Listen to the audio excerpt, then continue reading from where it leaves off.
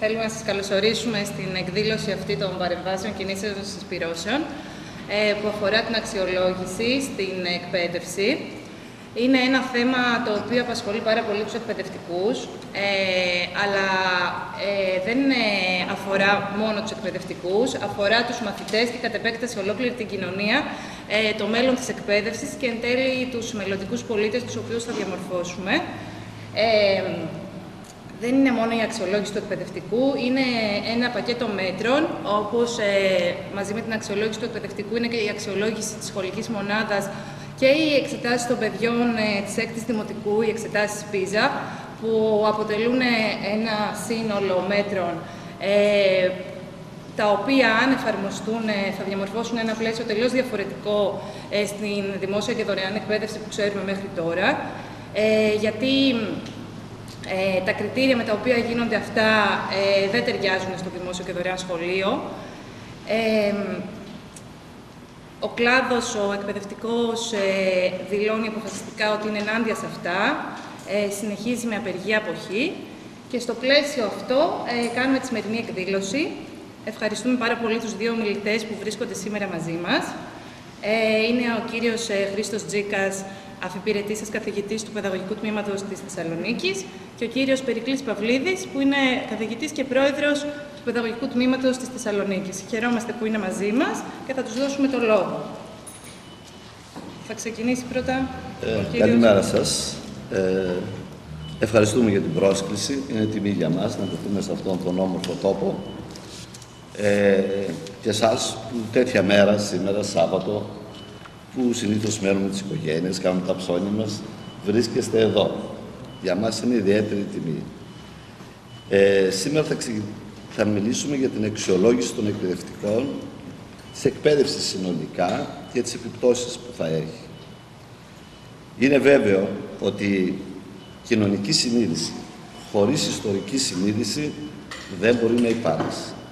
Αν, δεν, αν κανείς δηλαδή ζει σε έναν χώρο, το έχω ξαναπεί αυτό, σε έναν τόπο, σε μια εποχή, νομίζει πως τα πράγματα είναι έτσι και μόνο έτσι, αλλά πρέπει να κατανοεί ότι αυτό είναι αποτέλεσμα μιας σειράς ιστορικών ακολουθιών που θα μπορούσαν να είναι διαφορετικές. Και άρα αυτό που θα ακολουθήσει μπορεί να είναι διαφορετικό και εξαρτάται από τη δική μας δράση. Γι' αυτό το λόγο αποφασίσαμε να δούμε τι γινόταν στο παρελθόν με την αξιολόγηση.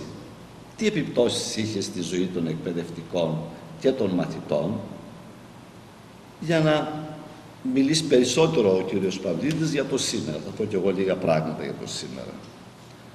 Ας ρωτήσουμε η αξιολόγηση και η κατάταξη σε κλίμακες, γιατί αυτό είναι το σημαντικό, ε, είναι εγενές στοιχείο της αξιολόγησης, της ε, εκπαιδευτικής διαδικασίας. Μπορούμε να φανταστούμε δηλαδή τον Πλάτο να, να ελέγχεται από κάποιον, να κάνει καλά το μάθημά του ή να βγάλει τεστ στους μαθητές του, παράδειγμα, ή όλους τους δασκάλους στην ιστορία. Πότε έρχεται αυτό το πράγμα και πότε κατατάσσονται οι μαθητές της εκπαιδευτικής σε κλίμακες; Αυτό σχετίζεται με, με καινούριους ρόλους εκτός δηλαδή από τους ρόλους μετάδοσης γνώσεων και δεξιοτήτων που ανέλαβε ο εκπαιδευτικός θεσμός στην νεωτερικότητα. Δηλαδή όταν γενικεύτηκαν τα εκπαιδευτικά συστήματα και διαμορφώθηκε η κοινωνική κατηγορία των εκπαιδευτικών με κοινή μόρφωση, κοινούς όρους εργασίας και κοινές αμοιβές, τότε λοιπόν ήρθε ο έλεγχος και αξιολόγηση. Γιατί αυτό το πράγμα, γιατί πέτυχε λοιπόν, έπρεπε να πετύχει εκπαίδευση τρεις σημαντικούς στόχους. Πέρα από το να μεταδίδει γνώσεις και δεξιότητες. Πρώτον, να συμβάλλει στην κοινωνική αναπαραγωγή, στη διευρυμένη κοινωνική αναπαραγωγή. Να πει ότι εσύ κάνεις για αγρότης, εσύ κάνεις για εργάτης, εσύ κάνεις για επιστήμονες, εσύ κάνεις για υπάλληλους. Το σχολείο το λέει αυτό. Δεύτερον, να ενοποιήσει πολιτισμικά πληθυσμούς μέσα στο εθνικό κράτος και τρίτος, να συμβάλλει στην κοινωνική συνοχή διαφορετικών με αντίθετα συμφέροντα ομάδων να το εξηγήσουν. Σε όλο το παρελθόν λοιπόν υπήρχαν αφέντες και δούλοι σε όλη την ιστορία του ανθρώπινου είδους. Υπήρχαν κατακτές και κατακτημένοι. Υπήρχαν ηγεμόνες και υπήκοοι. Υπήρχαν ευγενείς και δωροπάρικοι. Πώς κρατιόταν σε συνοχή αυτή η κοινωνία; Μεταξύ εκμεταλλευτών και εκμεταλλευόμενων με τη σπάθα του δυνάστη και με το φόβο, με την υποταγή δηλαδή. Ε; Ωραία. Στις σύγχρονες κοινωνίες έχουμε αστούς και προλετάριους. Έχουμε κατόχους των μέσων παραγωγής, έχουμε πλούσιους και φτωχούς και εργάτες που έχουν κάποιοι της εργατικής δύναμης από την οποία απομυζείται, όπως ξέρουμε, η υπερεξία και η ισόρρηση κεφαλαίου. Τώρα όμως, παρά το ότι το αστικό κράτος παράγει βία φυσικά, δεν μετέχουμε με τη βία σε αυτόν τον οργανισμό. Πώς μετέχουμε μια κοινή ιδεολογία την οποία επιβάλλει το κράτος. Την οποία επιβάλλει το κράτος μέσα στα σχολεία με μια κοινή ιστορία, ε, μια γεωγραφία, μια γλώσσα, μια... οπότε κατορθώνει να πετυχαίνει την εθνική ομογενοποίηση και την κοινωνική συνοχή. Θα πω στον πειρασμό να διαβάσω δύο κειμενάκια από παλιότερου υπουργού που μιλούσαν πολύ, πολύ πιο ε, ε, ευθέως, που σήμερα δεν τα λένε. Το σχολείο σήμερα κρίνεται ως η λανθάνουσα ενεκτική δύναμης των νεωτέρων κοινωνιών και το μυστηριώδες εργαστήριο στο οποίο κατά μικρόν και αθορύβος παρασκευάζεται η άθλητος ισχύς των νεωτέρων εθνών είναι η αφημετική δύναμης εισένα ολωτικών και συμπαγή εθνικών οργανισμών, τους απεριοπληθείς και ποράκης ετερομυγείς, διαφορετικούς δηλαδή λαούς, των σημερινών επικρατιών ενούσα και τη συνειδήση κοινών συμφερόντων και κοινών πόθων εδιασπάστων συγκρατούσα και συνέχιζουσα. Άρα την εθνική ομογενοποίηση. Αυτή το σχολείο να σου πει, παραδείγματος είστε όλοι Βούλγαροι εσείς, ανεξάρτητα από τι νιώθατε πριν, είστε όλοι Έλληνες κλπ.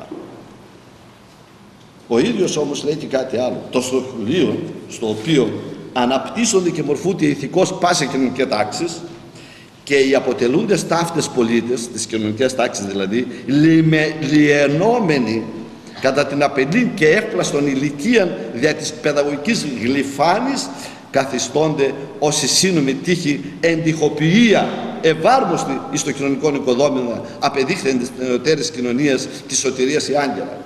Δηλαδή η παιδαγωγική γλυφάνη φτιάχνει τις συνειδήσεις των παιδιών τέτοιες που προσαρμόζονται οι κοινωνικές τάξεις σαν λύθη στο ντουβάρι. Να είναι αδιάσπαστο δηλαδή το κοινωνικό οικοδόμημα ε, που ενέχει, περιέχει τάξεις που βρίσκονται σε αντιπαραθέσεις μεταξύ τους. Ε, με αντίθετα συμφέροντα. Και εδώ μέσα στο σχολείο το παιδί βιώνει την ισότητα και αποδέχεται την ανισότητα. στο σχολείο ενευρίσκεται στο ιδανικό της ισότητος. Πού αλλού δίνεται να έβρει τρανοτέρων περί τούτο απόδειξη ή εν της σχολιακής ειδωλής, στα θρανία δηλαδή στα τραπέζια, ενής ουδεμία διάκριση πλούτου ή γένους. Και όσοι λαμβάνει εκεί το πρώτο την έννοια της ισότητας οπές, ούτως εθίζεται να στέργει και να ανέχεται την ηθική ή πνευματική υπεροχή με τα θαυμασμού κινούντος αυτόν εισάπλα. Εκεί μέσα στο σχολείο λοιπόν αποδέχεται ότι αυτός είναι ανώτερος και Φυσικά, γιατί είναι καλύτερο μαθητής. Τώρα η κοινωνική ανακάλυψη και δύο πράγματα που οφείλονται αυτές τις ανισότητες, δεν θα μιλήσουμε γι' αυτό όμως. Ποιος είναι αυτός που θα παίξει αυτό το ρόλο δηλαδή, να συμβάλλει στην εθνική ομογενοποίηση, στην κοινωνική συνοχή και στην αποδοχή των ανισοτήτων ως φυσικών ανισοτήτων. Ε; Βέβαια ο δάσκαλο, ο εκπαιδευτικός. Γι' αυτό αυτός θα ελέγχεται θα αποτελεί πρότυπο, θα διορίζεται, θα πληρώνεται και θα ελέγχεται για το τι κάνει και πώς το κάνει. Αν παίζει αυτούς τους ιδεολογικούς ρόλους του σχολείου καλά. Γιατί ο δάσκαλος έστει το όργανο διού ενεργεί από τις απαλής των παιδών καρδίας η ηθοποιός δύναμη της εξουσίας. Είναι το εργαλείο, το όργανο. Αυτός δια του ιδίου παραδείγματος και δια της διδασκαλίας προετοιμάζει αναρέτουν άντρες και αγαθούς πολίτας εμπνέων της προσταθία αφοσίωσης, της προς την πατρίδα και των αρχηγών αυτής αγάπη, την προς τους νόμους της αρχάς υποταγήν, της προς, προς τους αλλήλους ομόνια. Αυτός παρίσταται ως εικόνα εμφαντική δημοσίων και ιδιωτικών αρτών, ως θεσμός υλικό, ηθικός μεταξύ των πολιτών της κυβερνήσεως. Είναι δηλαδή το μικρό της κυβέρνησης και είναι ο παραδοσιακός διονοούμενος με την καραμισιανή έννοια, ε, ο εκπρόσωπος δηλαδή της επίσημης ιδεολογίας του κράτους σε όλες τις κοινότητες. Λοιπόν, ενώ δηλαδή στο παρελθόν όποιος γνώριζε γράμματα μπορούσε να τα μεταφέρει σε άλλους, σε όλη την ιστορία των σχολείων που έχουν πολλές χιλιάδες χρόνια πριν ε, τα σχολεία ιστορία, ξέρετε, είναι ο πιο παλιός θεσμός μετάδοσης δεξιοτήτων. Να μην το αναπτύξω, ή να πω δύο λόγια. Ότι σε όλη την ιστορία του ανθρώπινου είδους, γιατί δεν είμαστε μόνο 300 ετών, ήμασταν πολλών ανθρώπων παιδιά και πολλών αιώνων παιδιά. Λοιπόν, δεν υπάρχει παρθενογέννηση δηλαδή και δεν χτίζεται η κοινωνία από τη μια μέρα στην άλλη. Λοιπόν, ε, δύο πράγματα χρειαζόταν ένας άνθρωπος να μάθει να βγάζει το ψωμί του, να γίνει κυνηγός, να γίνει γλύπτης, να γίνει πυλοπλάστης, να γίνει ψαράς, να γίνει οτιδήποτε άλλο για να βγάζει το ψωμί. Το μάθαινε πώς αυτό. Δεν πρέπει σχολείο, μέσα στην πράξη. Και δεύτερο πράγμα που πρέπει να μάθει είναι να μάθει τις αξίες της κοινότητας. Δηλαδή, πώς στέκεσαι, πώς παντρεύεσαι, πώς πλέγει τη γυναίκα, πώς στέκεσαι με στην κοινότητα για να είσαι καλό, να είσαι αποδεκτός. Αυτά τα μάθαινε επίσης μέσα από τις δραστηριότητες της κοινότητας, τις ερωτελεστίες κλπ. και τη συμμετοχή. Δεν χρειαζόταν δηλαδή κανένα σχολείο για να μάθει ο άνθρωπος αυτά τα δύο βασικά πράγματα για να υπάρχει μέσα σε μια κοινότητα. Όταν όμως χρησιμοποιήθηκε η γραφή, χρειάστηκε ένας χώρος ιδιαίτερος ε, να μάθει ε, και να τα εφαρμόσει μετά και αφορούσε βέβαια πάρα πολύ λίγους και δεν ενδιαφερόταν ποτέ το κράτος γι' αυτά. Αυτό το σχολείο είναι άλλο πράγμα όμως, με εκείνο το σχολείο που κράτησε πολλές χιλιάδες χρόνια, έτσι. Λοιπόν, και κάνει αυτούς παίζει αυτούς τους ρόλους που είπαμε. Άρα ο δάσκαλος δεν μπορεί να είναι οποιοδήποτε, πρέπει να μορφωθεί με έναν ιδιαίτερο τρόπο. Δεν είναι τυχαίο που παλιότερα μπορούσε κανείς να τελειώσει ιατρική στη Γερμανία ή στην ε, Αγγλία να αναγνωρίσει το πτυχίο του και να έρθει εδώ, παρά κανένας δάσκαλος δεν μπορούσε να σπουδάσει έξω παιδαγωγικά και να έρθει να διδάξει αν δεν περνούσε από τα διδασκαλία της Παιδαγωγικής Ακαδημίας καθηγητής ο οποίος τέλειωσε παιδαγωγικά στην επικοινωνία της εκπαίδευσης στην Αμερική δεν του επέτρεπαν να εντάξει στην Παιδαγωγική Ακαδημία επειδή δεν ήταν πρώτα από αυτούς της Παιδαγωγικής Ακαδημίας. Όλοι οι καθηγητές των Παιδαγωγικών Ακαδημιών, σας λέω, ήταν όλοι δάσκαλοι μετεκπαιδευμένοι στο εξωτερικό. Απαγορεύονταν δηλαδή αν δεν έχεις περάσει από αυτό το εθνικό φυτόριο, εν πάση περιπτώσει. Λοιπόν, ωραία. Όταν οργανώνονται λοιπόν αυτά τα συστήματα, αρχίζει και η αξιολόγηση των εκπαιδευτικών. Έτσι. Και βέβαια ο εκπαιδευτικός πρέπει να εκφράζει οπωσδήποτε την κυρίαρχη ιδεολογία. Και σήμερα βέβαια πρέπει να εκφράζει τον νεοφιλελευθερισμό και όλα αυτά που πρέπει να γίνουν και στην εκπαίδευση που έγινες σε όλους τους τομείς της ζωής, διαφορετικά κύριε δεν συμμονιπιώ. Γιατί μην μου πείτε ότι σήμερα ε, λέει σε ένα δάσκαλο, σε έναν καθηγητή που 15 χρόνια τριγύρισε όλα τα νησιά της χώρας και όλες τις ορεινές περιοχές και τον είχε μια χαρά να πληρωθεί και τώρα τον διόρισε και μετά από δύο χρόνια του λέει κοίταξε τώρα θα δω αν μου κάνεις δάσκαλο, να γίνω δάσκαλος ε, ξέρει ότι τον χρησιμοποιεί τόσα χρόνια άλλο θέλει θέλει θα μπει σε μια διαδικασία που σημαίνει αλλαγή του σχολείου αλλαγή των σχέσεων εργασίας κατηγοριοποίηση των εκπαιδευτικών, κατηγοριοποίηση των σχολείων κλπ. Αυτό δηλαδή το νεοφιλελεύθερο που έχει περάσει όλους τους τομείς της ζωής και παραμένει τελευταίο προπήριο η εκπαίδευση και λίγο η υγεία. Τα νοσοκομεία δηλαδή. Λοιπόν, λέει ένας παλιότερος υπουργός πάλι, ε, ο δάσκαλος οφείλει να είναι φορεύς της, του πνεύματος της πολιτείας κατά την εντολή της οποίας λειτουργεί. Κατά συνέπεια, είναι ιδανικά της εκπαιδεύσεως είναι τα ιδανικά της πολιτείας. Διδάσκαλοι όμως οι οποίοι τυχόν δεν συμφωνούν διότι προτιμούν είτε την ανατροπή είτε την αντίδραση, δικαιούνται βεβαίως να διατηρήσουν τα υπεπιθήσει των, αλλά όχι τα θέσει τους. Και μάλιστα η συμφωνία δασκάλων, η πίστη δεν επιτρέπει να είναι μόνο παθητική. Οφείλει να είναι θετική, παλόμενη, δημιουργική. Δηλαδή να είναι φορέας ε, θειασότης των, των ιδεών του κράτους. Ναι, αλλά λίγο αργότερα αλλάζει η κυβέρνηση, μιλάω για το Μεσοπόλεμο, και έρχονται οι συντηρητικοί, οι οποίοι λένε ότι οι φιλελεύθεροι είναι επικίνδυνοι για το σχολείο. Πρέπει να είναι συντηρητικός και καθαρμουσιάνο ο δάσκαλος. Και έρχεται ο Μεταξάς και λέει ότι όποιο δεν αφορείται από τις ιδέες του φασισμού, ε, του νέου κράτους βέβαια έλεγε αυτός δεν αυτός είναι επικίνδυνος για την εκπαίδευση. Άρα ο δάσκαλος έπρεπε να είναι κάθε φορά και στη μεταπολεμική περίοδο βέβαια ε, πρέπει να εμφορείται υπογειών εθνικών ε, αρχών την χάνων ομόφρων και πυθής ίδιων και, και, και ουσιώδη στοιχείων του ήθους και για τους εκπαιδευτικούς είναι η πίστη και αφοσίωση στα ελληνικά, στα ελληνικά ιδιώδη. Με το να είναι όμως κάθε φορά οι εκπαιδευτικοί φορείς Μπορώ, θα μπορούσα να σας πω ιστορικά παραδείγματα όπου κάτι το επέβαλε και μετά το απέριπτε και λέει ότι αυτό είναι επικίνδυνο να το κάνετε. Έλεγε πρώτα, αν δεν το κάνετε θα σας τιμωρήσω. Και μετά έλεγε, είναι επικίνδυνο να το κάνετε αυτό γιατί ακυρώνει την παιδαγωγική. Μην σας πω παραδείγματα από το παρελθόν, τρομακτικά. Όμως, δάσκαλοι λοιπόν, οι οποίοι κάθε φορά πρέπει να είναι φορείς της κυρία συντολογίας, μας λέει ο γλυνό δάσκαλος που θα επιβρεωθεί να καταπνίξει τη σκέπτης του, θα είναι διπλά, θα γίνει διπλάς σκλάβος ή θα καταντήσει ένα ψυχικά ανάπηρος άνθρωπος ανίκανος να μορφώσει άλλους. Ας έρθουμε τώρα στην καθευτή αξιολόγηση πώς γινόταν, άρα η αξιολόγηση είχε σχέση με τον ελέγξει κυρίως ιδεολογικά τον εκπαιδευτικό για να παίξει αυτούς τους ρόλους η εκπαίδευση που ήθελε για να συντηρείται ένα κοινωνικό σύστημα και μια κυρίαρχη ιδεολογία. Λοιπόν, η πρώτη επιθεώρηση του σχολείου έγινε επί Καποδίστρια 6 Οκτωβρίου 1830. Θα σας διαβάσω ένα μικρό κομματάκι. Στις 6 του παρόντος, περί την Τετάρτη ώρα από μεσημβρίας, φτάσα στι Άργος, από τον Άφλιο στο Άργο πήγε, επήγα αμέσως στο διδακτικό σχολείο στον διδάσκαλο του οποίου παρουσιάστηκε ως ξένος ταξιδιώτης στην αίδου των σχολείων του. Ο επιθεωρητής. Ο οποίος ερεί στο εμπαρόδο ότι σε 6 του παρόντος του Οκτωβρίου δηλαδή του 1830 διορίστηκε επιθεωρητής αλλά το έγγραφο με το οποίο του κοινοποιήθηκε ο διορισμός ήταν στις 8 Οκτωβρίου αυτός το ήξερε και πήγε νωρίτερα λοιπόν γιατί έχουμε το έγγραφο κοινοποίησης που είναι δύο μέρες μετά δεν έχει σημασία Είχε τελειώσει εκείνη την ώρα το μάθημα της γραφής και έμεινε να αρχίσει την ανάγνωση, περιεργάσεις του τρόπους που γίνεται το μάθημα τούτο από ημικύκλους, ημικύκλων διαβαίνουν και τα προστάγματα είναι αυτό. Έβρικα δε και ταύτα και εκείνα γινόμενα όχι ακριβώς κατά τον οδηγό.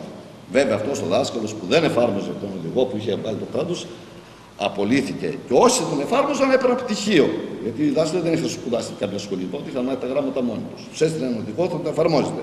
Αν δεν τον εφαρμόζετε, απολύεστε. Αν τον εφαρμόζετε, σας δίνω χαρτί ότι είστε δάσκαλοι. Λοιπόν, από το τέλο του 19ου αιώνα όμως, Φυσικά οι δάσκαλοι ε, ε, αξιολογούνταν από πολλές φορείς. Επιτροπές δημοτικές, ε, επιθεωρητικές, ε, επαρχιακές, νομαρχιακές, επαρχιακός δάσκαλος, νομαρχιακός δάσκαλος, ε, νομάρχης, έπαρχος, δήμαρχος, όλοι αυτοί μπαίνουν στο σχολείο και αξιολογούσαν τον δάσκαλο και όλα αυτά φτάνουν στο Υπουργείο. Ήταν τρομακτική κατάσταση. Στο τέλος του 19ου αιώνα όμως, δηλαδή 100 χρόνια από αφότου καταργήθηκε σε εμάς αυτή της μορφής αξιολόγηση, χωρίστηκε σε περιφέρειες η χώρα και διορίστηκαν επιθεωρητές. Συμβούλια βέβαια που μετήχε και ο Μητροπολίτης και άλλοι κλπ. Αλλά ο επιθεωρητής ήταν κυρίαρχος. Ο οποίος έγινε κυρίαρχος στη ζωή του δασκάλου γιατί ήταν οικονομικός προϊστάμενος, διοικητικός προϊστάμενος, επιμορφωτητής, επόπτης και αξιολογητής. Η εξάρτηση του επιθεωρητή ήταν απόλυτη. Τουλάχιστον μία φορά το χρόνο, ο επιθεωρητής επισκέπτονταν τον εκπαιδευτικό, αυτό κρατάει 100 χρόνια με μικροδιαφοροποιήσεις, αλλά η ουσία είναι η ίδια. Και παρακολουθούσε μία έως τρεις ώρες διδασκαλίας τον και τον βαθμολογούσε. Πήγαινε συχνά απροειδοποιητά, παρενέβαινε στη διδασκαλία και διόθωνε το δάσκαλο, καθώς ήταν και επιμορφωτής, ή αν ακολουθούσε τις οδηγίες που του έδωσε και αν ακολουθεί βέβαια την κρατική παιδαγωγική. Το πιο σημαντικό ήταν ότι ήλεγε τις γνώσεις των παιδιών. Συχνά διέκοπτε το μάθημα και έκαμε ερωτήσεις τα παιδιά από όλα τα μαθήματα. Με την παρακολούθηση δύο, μία, δυο ή τριών ωρών διδασκαλίας και το μαθησιακό επίπεδο των μαθητών αριθμοποιούσε τη διδακτική ικανότητα του δασκάλου. Γνωρίζουμε πολύ καλά πόσο αυθαίρετο είναι να αριθμοποιεί κανείς μια ποιοτική δραστηριότητα ε, και πώς η επίδεση των μαθητών οφείλεται σε ένα σωρό οικονομικούς, κοινωνικούς, ε, πολιτισμικούς, οικογενειακούς παράγοντες. Και ζητήματα για το σχολείο δεν έχει εργαλεία να κάνει κάτι που έπρεπε να έχει εργαλεία να παρεμβαίνει και να βοηθάει τις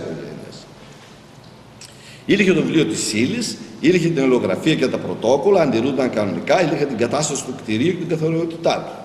Ήλθε και κατέγραφε στην έκθεση την περιβολή του δασκάλου και κυρίως της δασκάλας, αν ήταν ατιμέλητος ή ατιμέλητη, και από την άλλη αν ήταν εξυζητημένα ή προκλητικά αντιμένη δασκάλα, αν βάφονταν για παράδειγμα. Τέτοιες περιγραφές είναι άπειρες στις εκθέσεις του παρελθόντος. Με τις παρακολούθηση της δασκαλίας, τον έλεγχο των μαθητών και την κατάσταση των βραστηρικών βιβλίων και την κατάσταση του σχολικού κτηρίου, ήλεγε την επιστημονική, διδακτική και διοικητική ικανότητα του δασκάλου. Δεν ήταν μόνο αυτή η τομή όμως που βαθμολογούνταν εκπαιδευτικοί. Η κοινωνική συμπεριφορά και η κοινωνική δράση επίσης ήταν πολύ σημαντικοί παράγοντες. Η κοινωνική παράστασης, η κοινωνική εμφάνισης και οι δράσεις ήταν κεφάλαια πολύ σημαντικά γιατί έπρεπε να μεταπλάσει τους μαθητάς της άνδρας διαπύρους ευσεβείς και νουν έχοντας. Έπρεπε να είναι τύπος και υπογραμμός προς τους μαθητάς και στους κατοίκες ε, σε όλες τις αρετές που πρέπει να κοσμούν τον Χριστό πολίτη και των Ελληνικών χριστιανών. Και ένα σωρό τέτοια.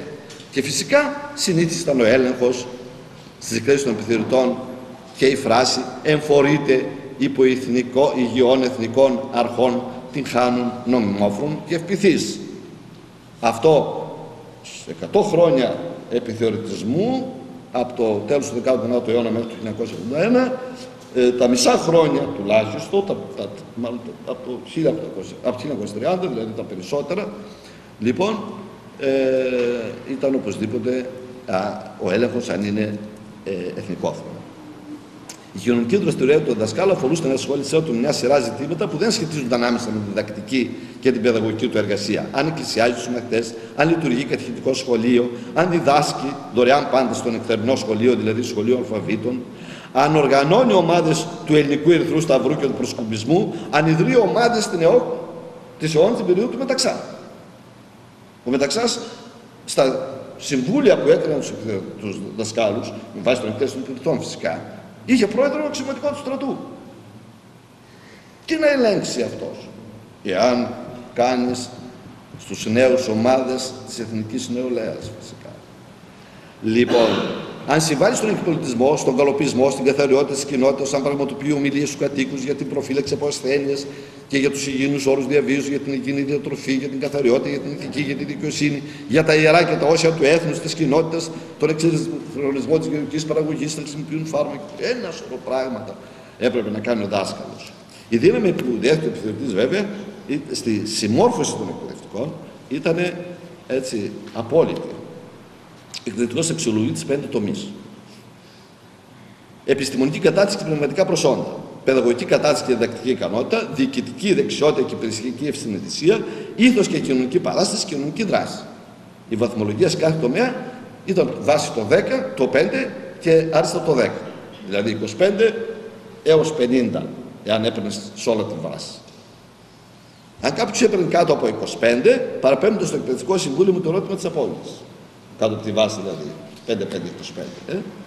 Αυτό ήταν σπάνιο είναι αλήθεια. Αν εδώ έμεινε το ζήτημα, δεν θα είχε καμιά σημασία ο βαθμός.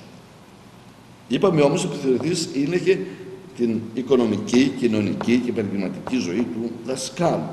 Η βαθμολογία καθόρισε το βαθμό του, το μισθό του και τη μετάθεση την απόσπαση. Η υπαλληλική βαθμή ήταν 9. Με τον νέο τον ε, ε, διορίζονταν είναι υπεργός με τον 8ο δάσκαλος και με τον 7ο καθηγητής. Και βέβαια ο πρώτος ήταν ο μανότερος βαθμός, τον οποίο δεν είχαν εκπαιδευτικοί. Είχαν κατορθώσει να πάρουν το δεύτερο βαθμό, ένα ποσοστό όμως. Προσέξτε, μετά από δύο χρόνια υπηρεσίας στο δάσκαλο, ας πούμε, από τον 8ο πήγαινε στον 7ο. Και μετά από τρία χρόνια υπηρεσίας, αν είχε πάνω από τη βάση βαθμολογία, πήγαινε στον 6ο. Έλα που εκεί πάγωνε το πράγμα. Γιατί ο πέμπτος βαθμός είχε πολύ λιγότερες θέσεις, ενώ είχε άπειρες θέσεις ο όγδος, όλοι μπορούσαν να πάνε όγδο. Είχε πολύ λίγες θέσεις. Και ακόμα λιγότερος ο τέταρτος, αλλά ακόμα λιγότερος ο τρίτος και ακόμα λιγότερος ο δεύτερος. Ήταν μια πυραμίδα δηλαδή. Πώς θα πήγαιναν λοιπόν αυτοί οι λιγότεροι που θα πήγαιναν, με δύο τρόπους. Η με αρχαιότητα, που σημαίνει η πιο παλή, ας πούμε αν είχε 500 θέσεις, η 250 με αρχαιότητα και 250 κατ' εκλογήν, κατ' επιλογήν μάλλον.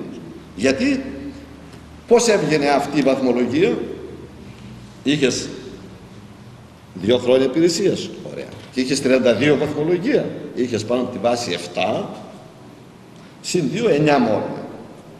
Έτσι. Αν είχες 28 βαθμολογία όμως και δύο χρόνια υπηρεσίας είχε 3 και 2, 5. Αν είχες 37 βαθμολογία είχες 12 και 2, 14 μόρια.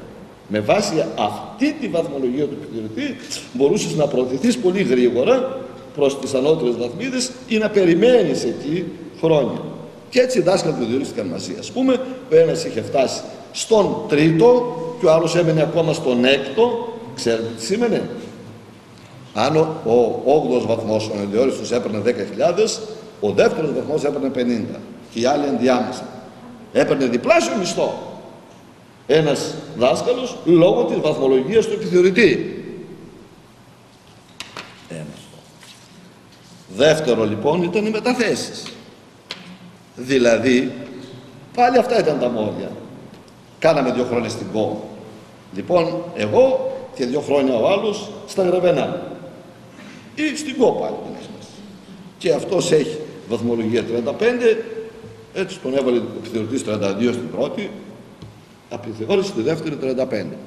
Και έχει αυτός λοιπόν 10 και 2 χρόνια 12 μόρια για να ζητήσει θέση στη Θεσσαλονίκη. Ο άλλος όμως από τα Γρεβενά, ας πούμε, είχε ο καημένος 27 και τον επόμενο χρόνο 28. Άρα το 28 μετράει. Λοιπόν, 3 και 2, 5 μόρια. Ε; 12 ο ένας, 5 ο άλλος που διορίστηκαν μαζί. Καταλαβαίνετε ότι δάσκαλοι που διορίζονται σε απομονωμένα μέρη και σε, πολυ... σε ολιγοθέσια σχολεία και η δουλειά ήταν πιο δύσκολη, ε, έπαιρναν κατά κανόνα χαμηλότερους βαθμούς. Ξέρετε, έχει υποθεί κιόλας ότι τους τιμωρούσαν, τους έβαλαν χαμηλού βαθμούς να μπορούν να φύγουν γιατί δεν πήγαιναν δάσκαλοι σε τέτοια μέρη. Και δάσκαλοι που βρίσκονταν από την αρχή σε πολυθέσια σχολεία που έτυχαν να έχουν μόνο μια τάξη που δούλευαν καλύτερα, ήταν κοντά σε αστικά κέντρα, άρα είχαν και πληροφόρηση καλύτερη και μέσα κλπ. Λοιπόν, ξεκινούσαν με καλή βαθμολογία και πήγαινε καλά η ζωή τους. Ε, υπήρχαν όμως και άλλου είδους προβλήματα. Η αξιολόγηση των εκπαιδευτικών και η σύνταξη εκθέσεων από τον επιθεωρητή απασχολούσε μόνιμα τους εκπαιδευτικούς, τις οργανώσεις είχαν ανακτήσει τόσο πολύ και ε, αν είχαν την ιστορική εμπειρία, αυτό που σας είπα, ότι η κοινωνική συνείδηση χωρίς ιστορική συνείδηση δεν μπορεί να υπάρχει, εάν δηλαδή τώρα, ξέρετε, γιατί επιμένουν τότε και εκβιάζουν, γιατί δεν υπάρχει από τους σημερινού εκπαιδευτικού αυτή η ιστορική εμπειρία. Αν αυτό το πράγμα το κάνουν το 95, ας πούμε, δεν είναι πρόκειτο να περάσει. Δεν έπρεπε, θα γινόταν 40 μέρες απεργία με 100% ε, γιατί το είχαν βιώσει αυτό το άνθρωποι στο πετσί τους. Γι' αυτό και καταργήθηκε η, η αξιολόγηση αυτού της μορφής και ο επιθεωρητισμός. Υπήρχε, υπήρχαν διαφορετικοί κλίμακες. Δεν μπορούσες 300 επιθεωρητές να τους βάλεις ε, και ποσοστιαία να το έκαναν ακόμα διορίζονταν σε κάποια περιοχή, δεν διορίζονταν καθόλου δάσκαλοι. Σε άλλοι διορίζονταν πάρα πολύ, όπως γίνεται και τώρα το βλέπετε. Έτσι, στη Θεσσαλονίκη δεν διορίζεται κανένας, διορίζονται πολύ στην ΚΟΑΣΠΟ. Αλλά δεν μπορούσες να επιβάλλεις μια ενιαία κλίμακα στους επιθεωρητές και στα κριτήριά τους. Ήταν διαφορετικοί άνθρωποι, ε, διαφορετικά πράγματα, ε, βλέπαν τα πράγματα σε διαφορετικό περιβάλλον ζούσαν. Έτσι λοιπόν έλεγε ένας επιθεωρητής, εγώ ξεκινώ στον ιδιόριστο από 27. Έχει 35 χρόνια να πάει στο 50 και τον καλύτερο νεοδιόριστο τον βάνω 30. Του στα 30 ήταν στους νεοδιόριστους. Ο επόμενος επιθεωρητής ο ίδιος θα έκανε το 27, 28, 29, το 30, 31, 32. Ναι, ωραία. Έλεγε ο άλλος, εγώ ξεκινώ από 33 στον ιδιόριστο και τον χειρότερο και τον καλύτερο τον βάλω 37. Καταλαβαίνετε πώς ξεκινούσαν εντελώς διαφορετικά τα πράγματα. Δεν υπάρχει τρόπος βέβαια τόσο πολυδιάστατη διαδικασία σαν την εκπαιδευτική διαδικασία όπου μπαίνουν τόσο πολλοί παράγοντες, οικογένειες, παιδιά, κτίρια, εκπαιδευτικός, προγράμματα, μέσα όλα αυτά τα πράγματα παίζουν ρόλο. Λοιπόν, να αριθμοποιηθεί αυτή η διαδικασία. Αλλά κι αν μπορούσε να αριθμοποιηθεί, οι επιθεωρητές είχαν διαφορετικές κλίμακες και επομένως οι δάσκαλοι τιμωρούνταν. Λοιπόν, αγαπητοί μου, αυτή είναι η εμπειρία ιστορική την οποία πρέπει να ξέρουμε και να κατανοούμε, να ξέρουμε τι περίπου θα έρθει, γιατί είναι αδύνατο να μην κατηγοροποιηθούν εκπαιδευτικοί μετά σε κλίμακες με διαφορετικούς μισθούς. Πράγμα το οποίο δεν βιώνεται ότι έχετε, όσοι έχετε 5-10 χρόνια υπηρεσίες, που βιώσατε όλη την κρίση και όλα αυτά τα προβλήματα, αλλά οι δάσκαλοι του Διόσκια μετά του 80 δεν βίωσαν αυτές τις διαφορές. Λοιπόν, για να, επειδή η, η εκπαίδευση, η εκπαιδευτική διαδικασία είναι μια σκόπιμη ε, και προγραμματισμένη δραστηριότητα, όπως όλες οι δραστηριότητες, δεν είναι δυνατόν να μην αξιολογείται. Δηλαδή, εμείς αξιολογούμε τη δράση μας συνεχώς, όλοι οι άνθρωποι, και βελτιώνουμε τη δράση μας σε διάφορα ε, έργα. Ε, μαθαίνω κάνοντας ε, και διορθώντας τα λάθη κλπ. Όμως ποιος είναι αυτός ο οποίος θα αξιολογήσει, τι θα αξιολογήσει και τι νόημα έχει η αξιολόγηση αυτή, αυτός ο οποίος σχεδιάζει τη διδασκαλία, αυτός ο οποίος σχεδιάζει την, την εκπαιδευτική δραστηριότητα είναι ο δάσκαλος, ο καθηγητής, εννοώ, όταν λέω δάσκαλος εννοώ όλοι οι εκπαιδευτικοί μέχρι και το πανεπιστήμιο και ο σύλλογος που οργανώνει αυτή τη δράση. Αυτός μπορεί να παρακολουθήσει τα αποτελέσματα, να δει που πάσχει και να έρθει το κράτος, να έρθει ο Δήμος, να δουν οι φορείς, να ζητήσει να πει αυτό το πράγμα λείπει, αυτό μου λείπει, εκείνο μου λείπει για να διορθώσουμε τα πράγματα. Θέλουμε κτίριο καλύτερο, θέλουμε μέσα, θέλουμε εκπαιδευτικούς. Γιατί εγώ έχω τρεις μαθητές οι οποίοι επειδή οι γονείς τους δουλεύουν μέρα νύχτα ή δουλεύουν μόνο, μόνο τη νύχτα και τη μέρα που είναι το παιδί στο σχολείο δεν είναι εκεί πέρα κλπ. Λοιπόν τα παιδιά αυτά θέλουν μια ιδιαίτερη βοήθεια. Θέλουμε λοιπόν να νομοποιούμε τις κοινωνικές ανισότητες ή να τις ακυρώνουμε. Αν θέλουμε να τις ακυρώνουμε θα πρέπει να προσφέρουμε πολύ περισσότερα σε εκείνες τις ομάδες που πάσχουν ώστε να ανταγωνιστούν άμα θέλετε τις ομάδες που δεν πάσχουν ή που έχουν όλα τα μέσα και σε κάποια ηλικία και μετά άρχισαν να ανταγωνιστούν. Πρέπει να ακυρώσεις τις ανισότητες στο σχολείο. Τώρα εάν κατηγοροποιήσεις και τα σχολεία τις εντείνεις της ανισότητας την κοινωνική διαφοροποίηση την εντείνεις μα αυτό θέλει ε; τι συνέβη όλα αυτά τα χρόνια; Εντάθηκαν οι κοινωνικές διαφοροποιήσεις. έγιναν πολλοί άνθρωποι πιο φτωχοί ε, έχασαν πολύ τα σπίτια τους έμειναν πολύ άνεργοι κλπ και λίγοι συγκέντρωσαν το πλούτο αυτό το μοντέλο θέλει να περάσει και στο σχολείο. Αυτό θα γίνει ο Γι' αυτό λέει επιλέγει το σχολείο. Ποιος μπορεί να επιλέξει το σχολείο; Η ελευθερία επιλογής αξίζει όταν έχουν όλη την ίδια δυνατότητα να επιλέξουν. Έχουν όλη την ίδια δυνατότητα να επιλέξουν. Έχει από μια υποδεδειγμένη περιοχή κάποιος να επιλέξει ένα σχολείο σε μια άλλη περιοχή; Δεν μπορεί να του πάει, δεν έχει μέσο, δεν έχει αυτοκίνητο, δεν έχει χρόνο. Ενώ αυτός που μπορεί να επιλέξει, επιλέγει. Θα δούμε σχολεία λοιπόν πολύ καλά, αριστοκρατικά, φημισμένα κλπ. και σχολεία για την πλέμπα. Το λέω καμιά φορά, όπως έχουμε που κάμισα πέντε ευρώ στη λαϊκή και έχουμε και που κάμισα με 300 ευρώ, κάπως έτσι πρέπει να γίνει η εκπαίδευση.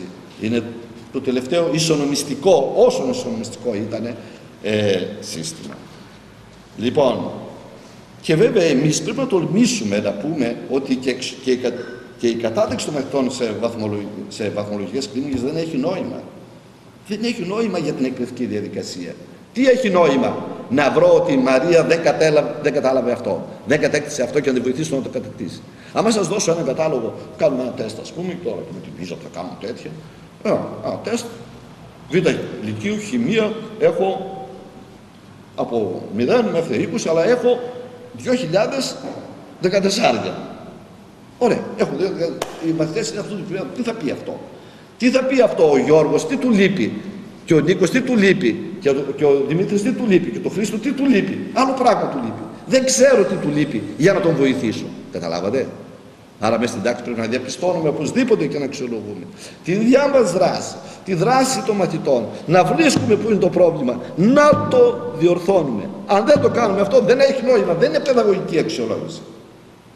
Εξάλλου, γενικά στην κατάταξη και στη βαθμολογία, οι παιδαγωγοί υπογράμμισαν ε, ότι με τον εξωτερικό αυταρχισμό της βαθμολογικής διαταράσσεται η παιδαγωγική σχέση μεταξύ μαθητών και εκπαιδευτικών, που οφείλει να στηρίζεται στην ενθάρρυνση, στην αποδοχή και στην συνεργασία. Επιπλέον, η αξιολόγηση διαμορφώνει ανταγωνιστικές σχέσεις, οδηγώντας τους αδύνατους μαθητές στο περιθώριο. Οι ψυχολόγοι κάνουν λόγο για τυπικά λάθη αξιολόγηση, όπως λάθη επίγεια, προβολής, γενίκευσης, υπογραμμίζουν ότι η αξιολόγηση εγείρει άγχος, φοβίες, αρνητική αυτοεκτίμηση, ενώ καταργούνται τα εσωτερικά κίνητρα μάθησης, αφού είναι σιούνται αποκλειστικά τα εξωτερικά κίνητρα.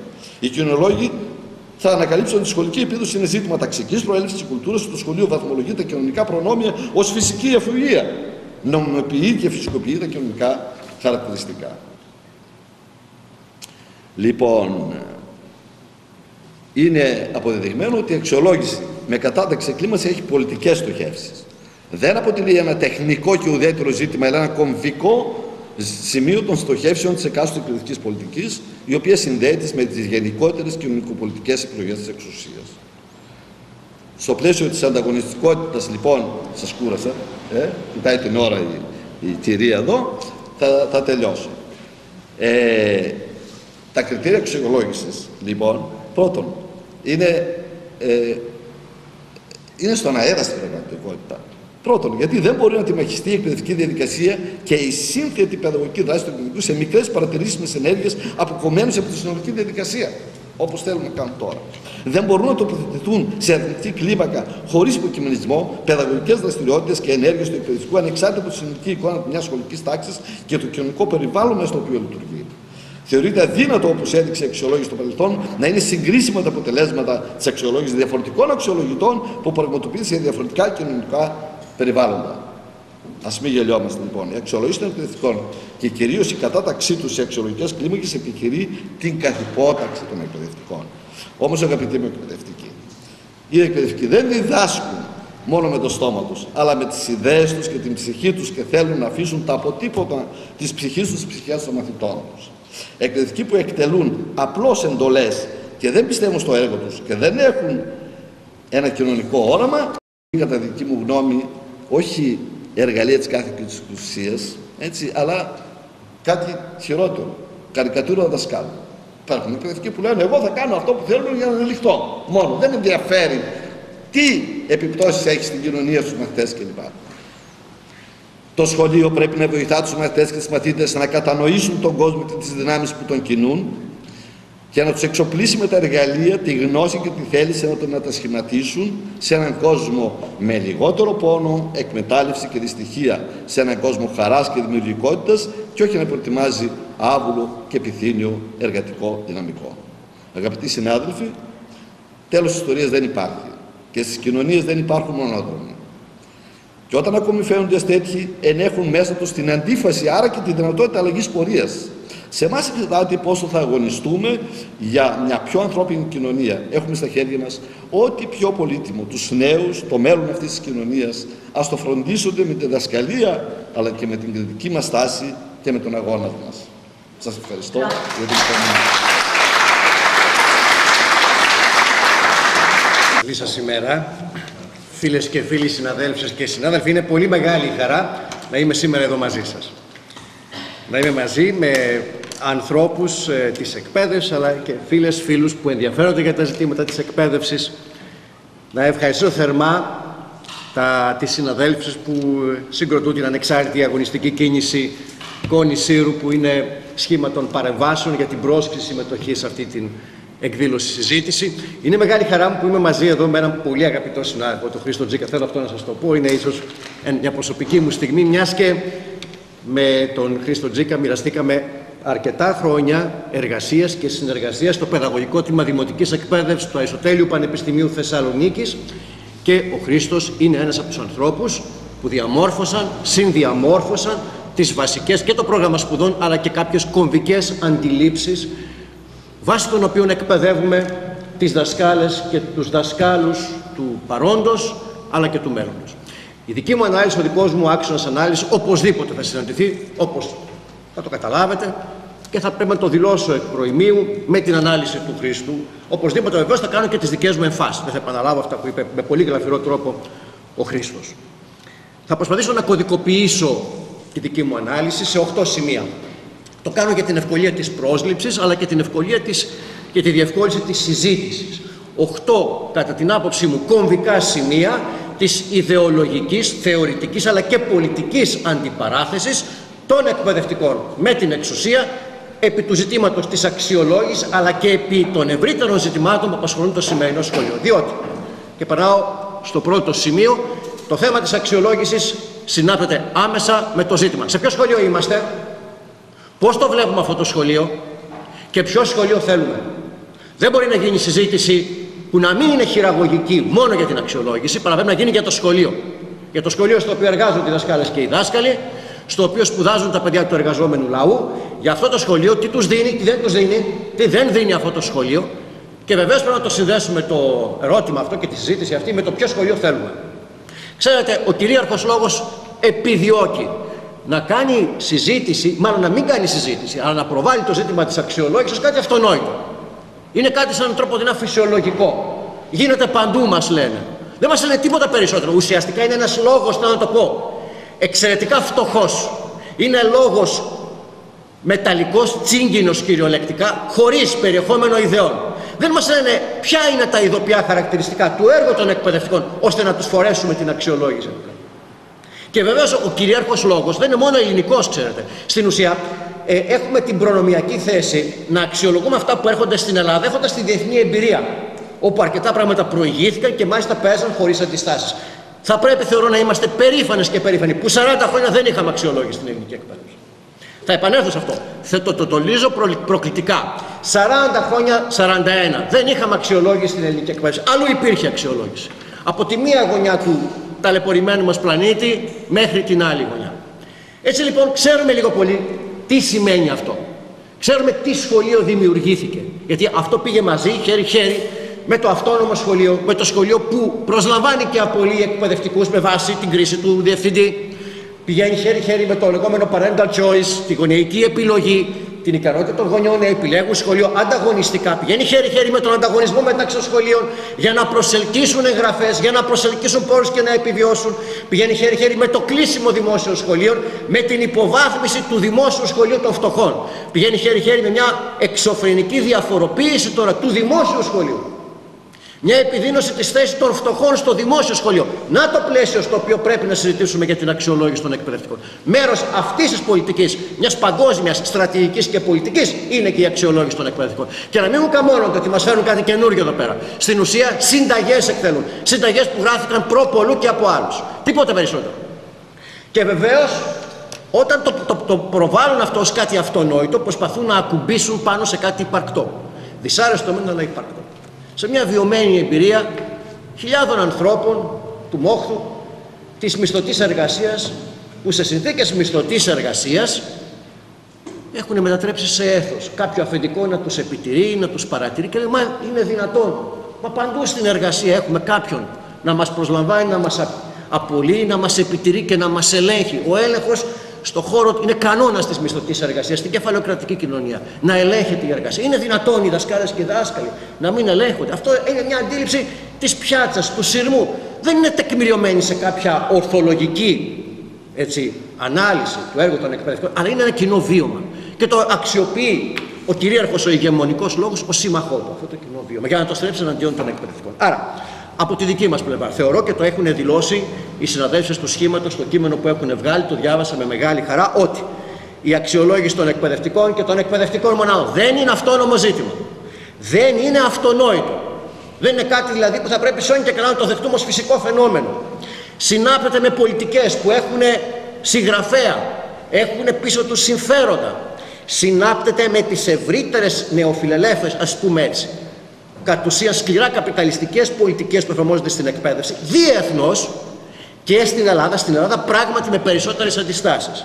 Συνάπτεται η αξιολόγηση των εκπαιδευτικών με την αναδιάρθρωση των συνθήκων εργασίας των εκπαιδευτικών. Αλλάζει το επάγγελμα και ουσιαστικά καταραίουν, υπονομεύονται, γκρεμίζονται κατακτήσεις των εκπαιδευτικών. Γιατί το επάγγελμα ποτέ δεν ήταν ένας ιδηλιακός τρόπο, τα είπε εξαιρετικά ο συνάδελφος ο Χρήστος.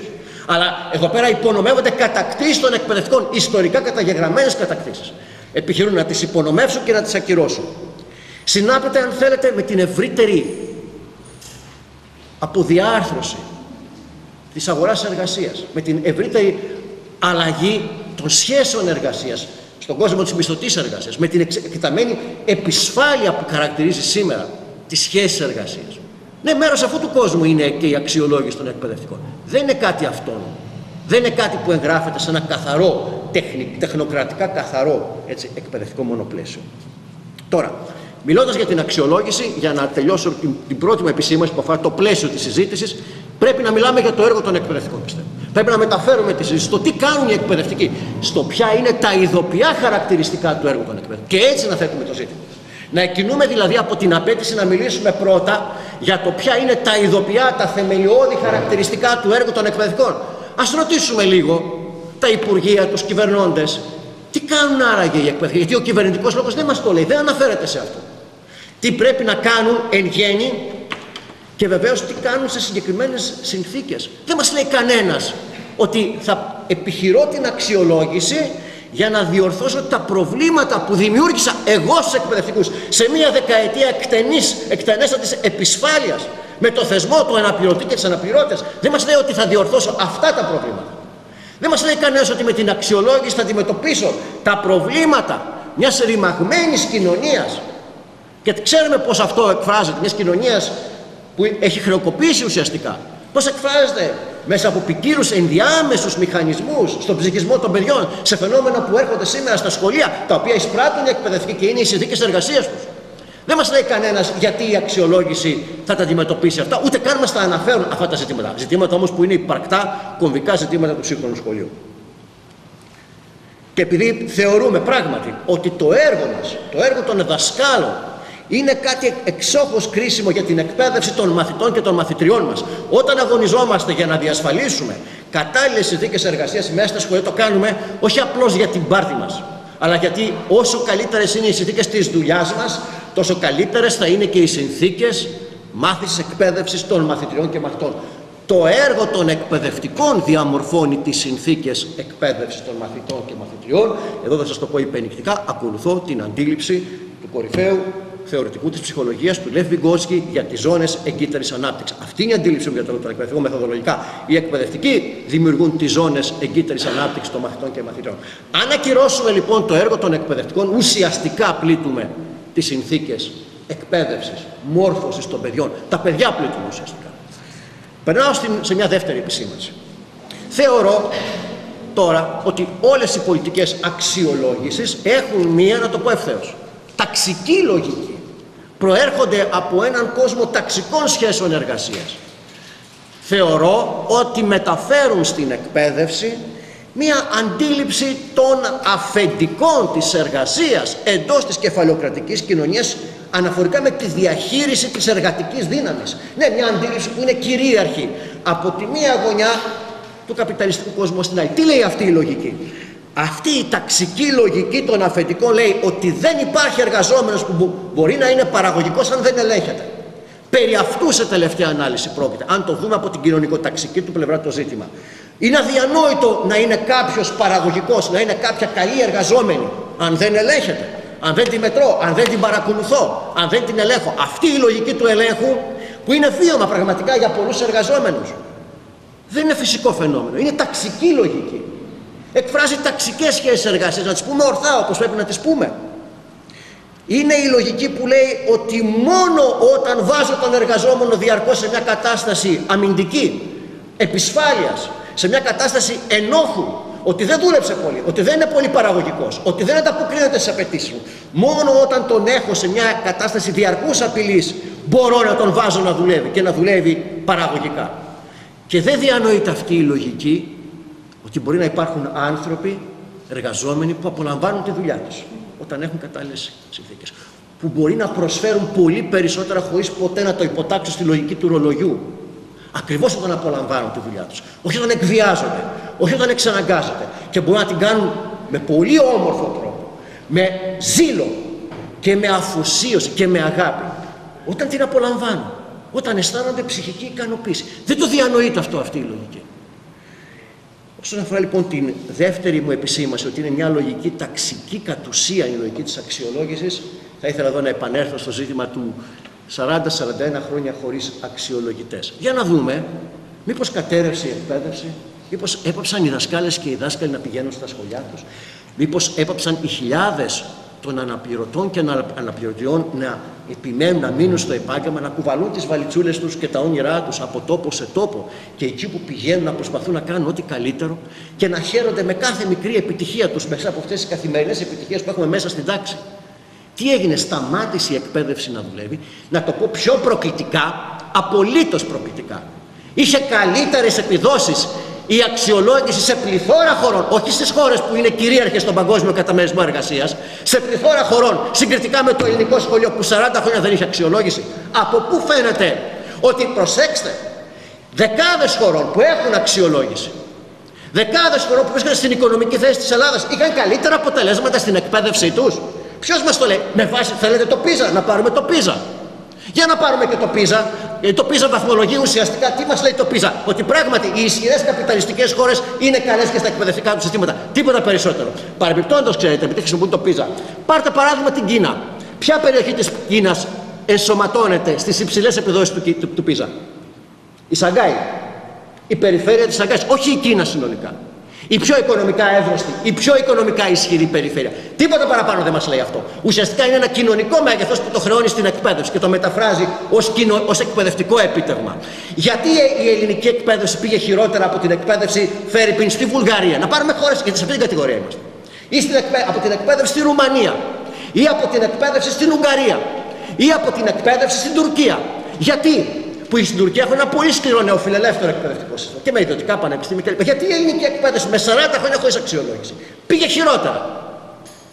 Θεωρώ ότι αυτή η εκτίμηση πάλι πατά στον κοινό νου, στην πιάτσα που λέει είναι δυνατόν 40 χρόνια όλοι οι εργαζόμενοι έχουν ένα αφεντικό που τους μετράει και τους αξιολογεί. Είναι δυνατόν οι εκπαιδευτικοί μας να μην αξιολογούν όταν παντού αξιολογούνται.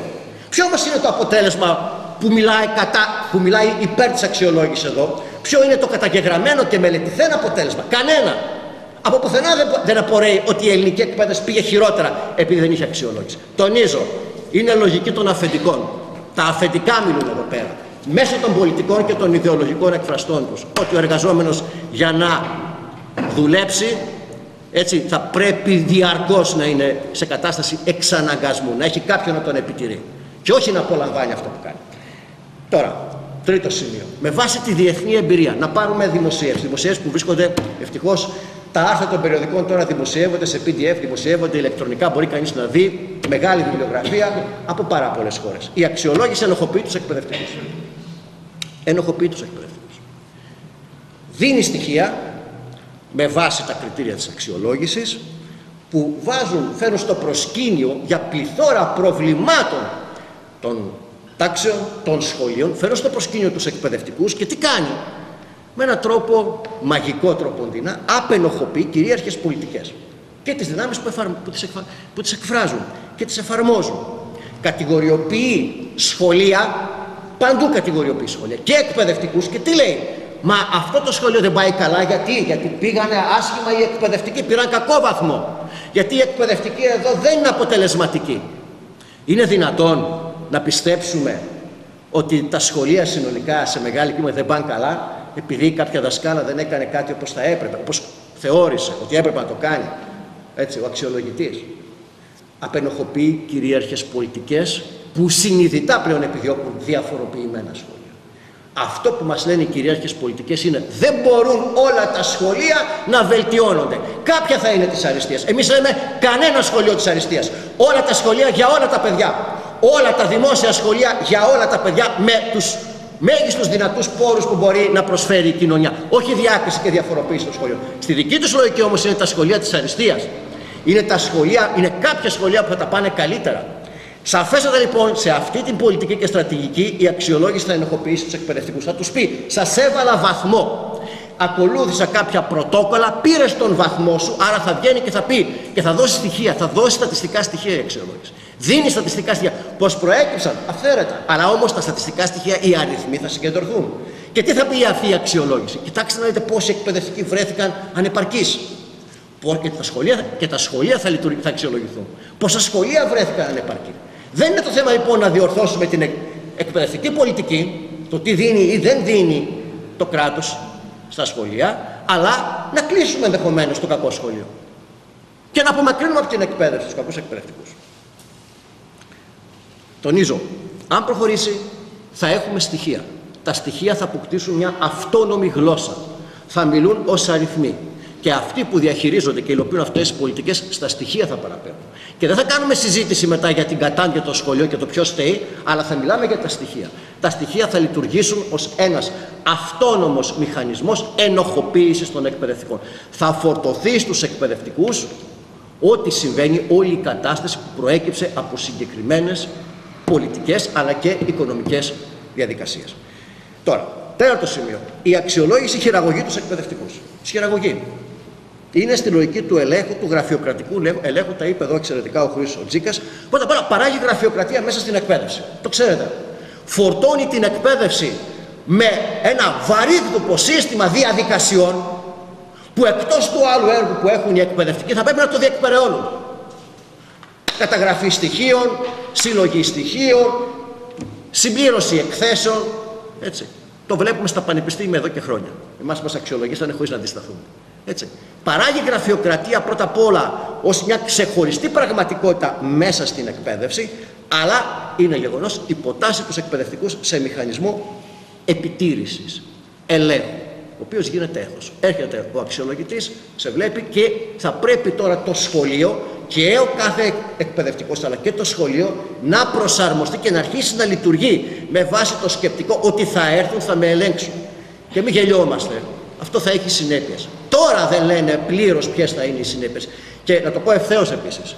Δεν θα πρέπει ούτε ίχνος εμπιστοσύνης να δώσουμε σε αυτόν τον κυβερνητικό λόγο και στα παπαγαλάκια του μέσα στην εκπαίδευση. Γιατί; Γιατί είναι εμφανώ ψευδής, εμφανώ παραπλανητικός. Πιστεύω ότι θα μας έλεγαν αυτό που προσπάθησαν να μας πούν πριν από 10 χρόνια όταν απέτυχαν. Προφανώς θα χρυσώσει το χάπι. Προφανώς θα παρουσιάσουν, από ό,τι μαθαίνουν οι αξιολογητές, έρχονται με μεγάλη ευγένεια στα σχολεία.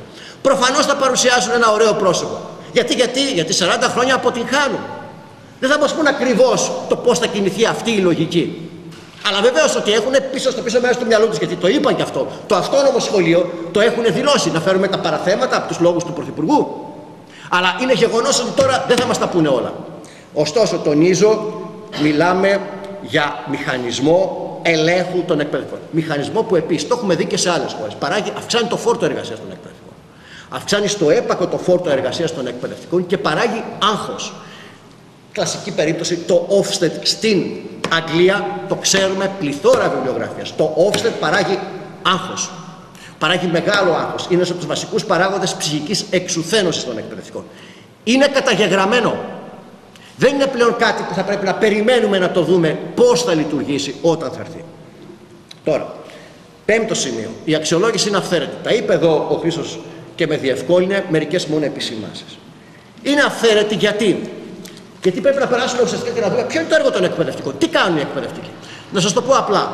Αν πάμε, θυμηθείτε το, την ταινία Μοντέρνη Κερί του Τσάρλι Τσάπλιν, έτσι; Φορτισμός, έτσι; Αν πάμε σε ένα τέτοιο μοντέλο εργασίας, τι κάνει εκεί πέρα ο εργαζόμενος, έχει έναν μοχλό, έχει μία πρέσα, κάνει στερεότυπες ενέργειες με βάση τη λογική του Τέιλορ και του Φόρτ Μπορούμε να μετρήσουμε τις κινήσεις ενός χεριού, μπορούμε να, κινή, να μετρήσουμε τις κινήσεις ενός ποδιού που πατάει ένα πεντάλ. Μπορούμε να βρούμε τις βέλτιστες αποδόσεις του εργαζόμενου, να τον βάλουμε σε μια τέτοια διαδικασία, να τον μετρήσουμε. Να βάλουμε έναν επιτηρητή, έναν επιστάτη ή μια κάμερα να τον παρατηρεί. Μπορούμε να ελέγξουμε αυτό το είδος εργασίας. Ναι, δυστυχώς. Μπορεί να ελέγχει. Είναι στερεότυπη εργασία. Επαναλαμβανόμενη. Θέλουμε από τον εργαζόμενο ένα χέρι, ένα πόδι, ένα ευέλικτο μάτι. Μπορεί να ελεγχθεί προς όφελος των αφεντικών αυτή η εργασία. Και πολλές άλλες εργασίες που τώρα είναι η μοντέρνη καιρή, είναι μια κλασική περίπτωση. Έτσι. Στερεότυπες εργασίες. Ναι, τα αφεντικά μπορούν να υποτάξουν τους εργαζόμενους. Είναι καταστροφικό για τον εργαζόμενο. Προφανώς είναι καταστροφικό για τον ανθρώπινο ψυχικό να δουλεύει έτσι. Αλλά ποιο νοιάζει. Τώρα, το έργο των εκπαιδευτικών από τη φύση του επιδέχεται τέτοιου είδους έλεγχο. Για να δούμε, μπορεί να είναι μετρήσιμο. Θα σας αναφέρω πέντε θέματα αξιολόγησης από τα αντίστοιχα πεδία αξιολόγησης. Θα καταλάβετε όσες και όσοι έχετε δει τον νόμο, τον 48-23, έτσι και μετά την ΚΙΑ με βάση την οποία ξεκίνησε η αξιολόγηση, την ΚΙΑ 99-50 του 23, ε, θα καταλάβετε από ποιες θεματικές περιοχές είναι. Για να δούμε μερικά, είναι πέντε από τα 60 περίπου ζητήματα επί των οποίων θέματα θα αξιολογηθούν. Πέντε από τα 60 περίπου. Λοιπόν, ο μετασχηματισμός του γνωστικού αντικειμένου, ενός ολόκληρου γνωστικού αντικειμένου, σε σχολική γνώση. Το πώς δηλαδή ένα γνωστικό αντικείμενο μετατρέπεται σε σχολική γνώση. Αυτό θα αξιολογηθεί. Το πώς το κάνει ο εκπαιδευτικός και υποτίθεται θα το κρίνει ο αξιολογητής το πώς πραγματικά συμβαίνει στη συνειδήση των παιδιών. Το πώς η συνειδήση των παιδιών το γνωστικό αντικείμενο μετετράπει σε σχολική γνώση. Δεύτερο, η σύνδεση του μαθήματος με την προϋπάρχουσα γνώση των μαθητών. Δεν ξέρω αν έχει μπει κανένας στην τάξη και 15 παιδιά να έχεις που είναι μια καλή περίπτωση έτσι. Και ε, για να ρωτήσουμε, είναι σε θέση να μας πει πώς ακριβώς το μάθημα μπορεί να συνδεθεί με την προϋπάρχουσα γνώση των σχολική γνώση των μαθητών; Πού είναι, είναι κάπου καταγεγραμμένη, είναι εμφανής, πατάμε ένα κουμπί και τη βλέπουμε; Κάτι που είναι σαφώς συνειφασμένο με την προσωπικότητα των μαθητών και μαθητών. Αυτό θα μπει ο αξιολογητής, θα αξιολογήσει τη δασκάλα και το δάσκαλο για το πόσο καλά το κάνει και θα αξιολογήσει μετά για να δει τους μαθητές. Έτσι, κατά πόσο πραγματικά ο δάσκαλος ανταποκρίνεται στην προπάρχουσα γνώση. Τρίτο, η ενεργητική συμμετοχή των όλων των μαθητών στη μαθησιακή διαδικασία. Όσες και όσοι από εμάς, ξέρετε, έχουμε γευθεί τι, τι σημαίνει δασκαλή και έχουμε πει, εντάξει, εντάξει, εμείς στο Πανεπιστήμιο καταλαβαίνουμε ότι αυτό είναι πράγματι η, ενεργητική συμμετοχή όλων των μαθητών στη μαθησιακή διδασκαλία είναι το ιδανικό μας. Είναι το ζητούμενό μας, έτσι, έτσι βεβαίως. Πατάμε κανένα κουμπί για να το επιτύχουμε. Υπάρχει κάποιος δάσκαλος ή κάποια δασκάλα κάπου που να αντιμετωπίσει πολύ διαφορετικά παιδιά, προσωπικότητες και να ξέρει τον μαγικό τρόπο για να το επιτύχει. Είναι ζητούμενο, ναι. Είναι μέρος της δουλειάς μας. Μπορούμε να το μετρήσουμε; Πάμε παρακάτω. Η ενεργοποίηση μαθησιακών διαδικασιών που προωθούν τη βαθιά κατανόηση και την κριτική σκέψη. Και το τελευταίο, η επίλυση διαφορών και η πρόληψη και διαχείριση συγκρούσεων. Δεν ξέρω αν έχουν μπει οι άνθρωποι, αυτοί που τα λένε αυτά σοβαρά, εκεί στις σκληρές περιοχές, στις σκληρές περιοχές, αυτές τις μεγαλοπόλεις, που έχουν βυθιστεί στην παρακμή, στην περιθωριοποίηση και μπορεί με σοβαρότητα να μιλήσει για το πώς εκεί, όχι δεν προσπαθούν οι εκπαιδευτικοί, αλλά για το πώς μπορούν και να μετρηθούν, μπορούν να μετρηθούν για την, αναφορικά με την πρόληψη και διαχείριση συγκρούσεων. Α, και κάτι ακόμα ξέχασα, ναι, κάτι εξώπως έτσι ενδιαφέρον. Θα αξιολογηθεί ο αναστοχασμός της διδασκαλίας, η κριτική επανεξέταση της σχέσης στόχων αντίστοιχων διδακτικών, μαθησιακών και αξιολογικών δράσεων. Θα μπει ο αξιολογητής στη συνείδηση των εκπαιδευτικών και θα το κρίνει. Είναι, προσέξτε, 5-6 υποενότητες από τις θεματικές περιοχές που έχουν πολύ περισσότερες, κάπου 60, πώς είναι οι υποενότητες τις οποίες θα αξιολογήσει ο εκπαιδευτικός. Τώρα, πρόκειται ζητήματα τα οποία ναι είναι μέρος του εκπαιδευτικού έργου οπωσδήποτε αναμφιβόλως τα οποία ούτε η δασκάλα και ο δάσκαλος οποιασδήποτε βαθμίδας, οποιασδήποτε από την προσχολική μέχρι το βάθμια ποτέ ένας δάσκαλος και μια δασκάλα δεν μπορεί όλα αυτά να τα έχει όλα ακριβώς υπόψη ούτε να τα ελέγχει ανα πάσα στιγμή όταν κάνει το έργο της. Ούτε πολλές φορές να τα ελέγχει όλα αυτά σε αυτή την κλίμακα έτσι με βάση ας πούμε την εβδομαδιαία απόδοση. Δεν μπορεί. Τώρα, πώς είναι δυνατόν σε μικρό χρονικό διάστημα, στη λήψη, κατά τη λήψη στιγμιοτύπων, όταν μπαίνει ο αξιολογητής και καταγράφει κάποια στιγμιότυπα της σχολικής πραγματικότητας, σε ευκαιριακές παρακολουθήσεις. Πώς μπορεί κάποιος να συναγάγει σοβαρά συμπεράσματα για το εκπαιδευτικό έργο και τους φορείς του; Προσέξτε, όπως το είπε και ο Χρήστος, από την Κρήτη μέχρι την Αλεξανδρούπολη, από την Κο μέχρι τα Ιωάννη και με βάση ενιαίο μέτρο. Ενιαίο μέτρο, γιατί σαφέστατα οι σχολικοί σύμβουλοι θα αξιολογούν αναπόφευκτα με βάση κάποια στιγμιότυπα, κάποιες επιδερμικές εντυπώσεις και βεβαίως δεν υπάρχει άλλο, δεν μπορεί να υπάρξει άλλο, με βάση τη γνώμη τους τελικά. Με βάση τη γνώμη τους, την αναπόδραστα στον ένα ή τον άλλο βαθμό υποκειμενική γνώμη τους, χωρίς να γνωρίζουν την ευρύτερη καθημερινότητα του σχολείου, την καθημερινότητα των δασκάλων, την καθημερινότητα των παιδιών, τα προβλήματα του σχολείου κλπ. Τώρα, το μέτρο. Το μέτρο είναι σοβαρό ζήτημα. Με ποιο μέτρο θα μετρηθούν; Γιατί αν πρέπει να μετρήσεις, πρέπει να έχεις ένα μέτρο. Θα είναι σε τόνους, σε εκατοστά, σε λίτρα. Ποιο θα είναι το μέτρο για όλα αυτά τα 60 υποπεδία, υποθέματα των ευρύτερων θεματικών περιοχών; Ποιος το ξέρει; Ας μας το πούνε. Γιατί αυτό που θέλουμε, αν πρόκειται να μας μετρήσουν και να μας βαθμολογήσουν, είναι το αυτονόητο. Το λίγο ή πολύ σαφές μέτρο. Πράγματι, όπως τα είπε ακριβώς ο Χρήστος, στα Χανιά πρέπει μια δασκάλα να μετρηθεί με το ίδιο μέτρο με μια δασκάλα στην Αλεξανδρούπολη. Αλλιώς τελικά τι προκύπτει; Η γνώμη.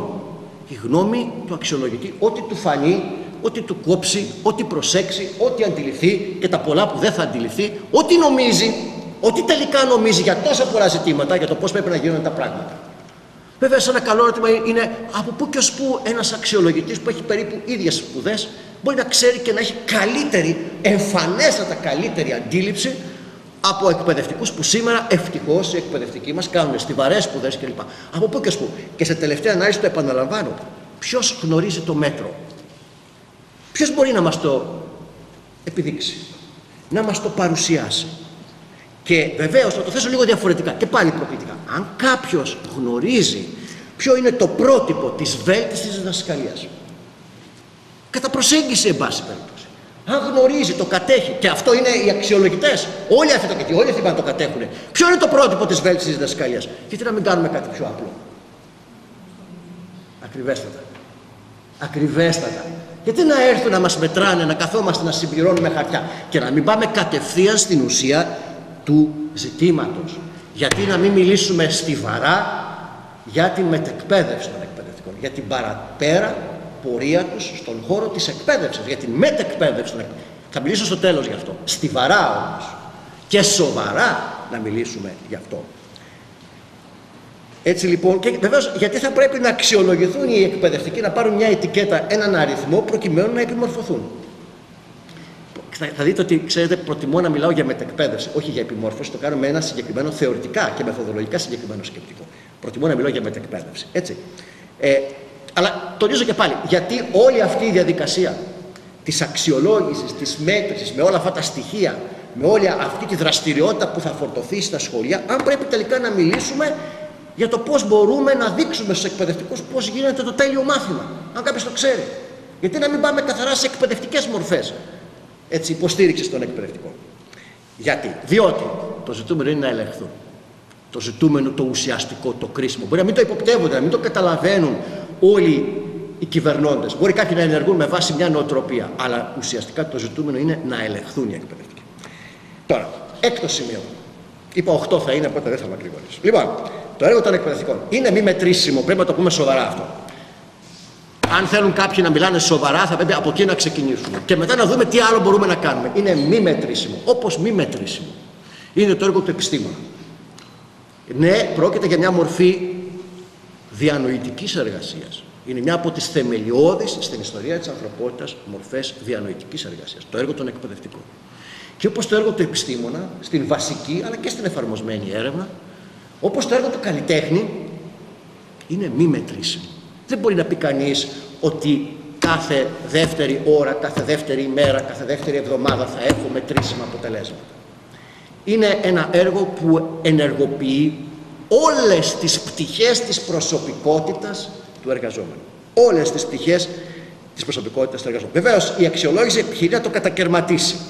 Να, να, να το βάλει σε, σε πληθώρα από κουτάκια και να μετρήσει το κάθε κουτάκι αποσπασμένο. Είναι όμως, επαναλαμβάνω, μη μετρήσιμο, διότι, θα γίνω πιο συγκεκριμένος. Πρώτα απ' όλα, αφορά ένα επάγγελμα εξόχως σχεσιακό. Εδώ είναι ο πυρήνας του. Αφορά δηλαδή την ευαίσθητη παιδαγωγική σχέση δασκάλων μαθητών, στην οποία αναπόφευκτα εμπλέκονται τα συναισθήματα, η διέστηση, η συναισθηματική κατάσταση, η ιδιοσυγκρασία, ο χαρακτήρας, η προσωπικότητα των παιδιών είναι από τις πιο ευαίσθητες και σημαντικές περιπτώσεις ανθρώπινων σχέσεων. Είναι ένα επάγγελμα σχέση.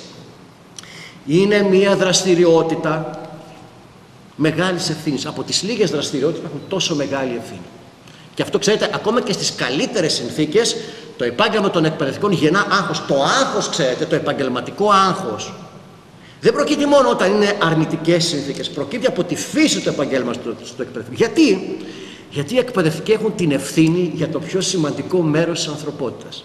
Και όχι μία φορά, αλλά για όλες τις στιγμές της εκπαιδευτικής διαδικασίας. Έχουν την ευθύνη για την ψυχική και σωματική ασφάλεια, ασφάλεια και υγεία των παιδιών. Και γι' αυτό το έργο των εκπαιδευτικών από τη φύση τους συνάπτεται με διαρκή φροντίδα, με διαρκή προσπάθεια, με διαρκή συναισθηματική ένταση και φόρτιση. Και δεν είναι τυχαίο, τονίζω, ακόμα και στις καλύτερες συνθήκες προκαλεί ψυχική κόπωση και ενίοτε ψυχική εξουθένωση. Επίσης, λόγω της σχεσιακής του ιδιαιτερότητας, είναι ένα, μια δραστηριότητα δυναμική. Ποτέ δεν επαναλαμβάνεται με πανομοιότυπο τρόπο. Η μία στιγμή δεν είναι ίδια με την άλλη. Η μία τάξη δεν είναι ίδια με την άλλη. Η μία ημέρα δεν είναι ίδια με την άλλη. Οι άνθρωποι, οι συμπεριφορές των άνθρωπων, των μαθητριών και μαθητών μας δεν είναι ίδιες. Εμείς, ως δασκάλες και δάσκαλοι, δεν μπορούμε να είμαστε ίδιες. Είναι δυναμικό και βεβαίως επηρεάζεται από πληθώρα μεταβαλλόμενων και εν πολλής απρόβλεπτων πρωτόγνωρων παραγόντων. Μπορεί κανείς να πει ότι έχει ένα σαφή χάρτη της συμπεριφοράς των παιδιών; Κάθε επόμενη ώρα.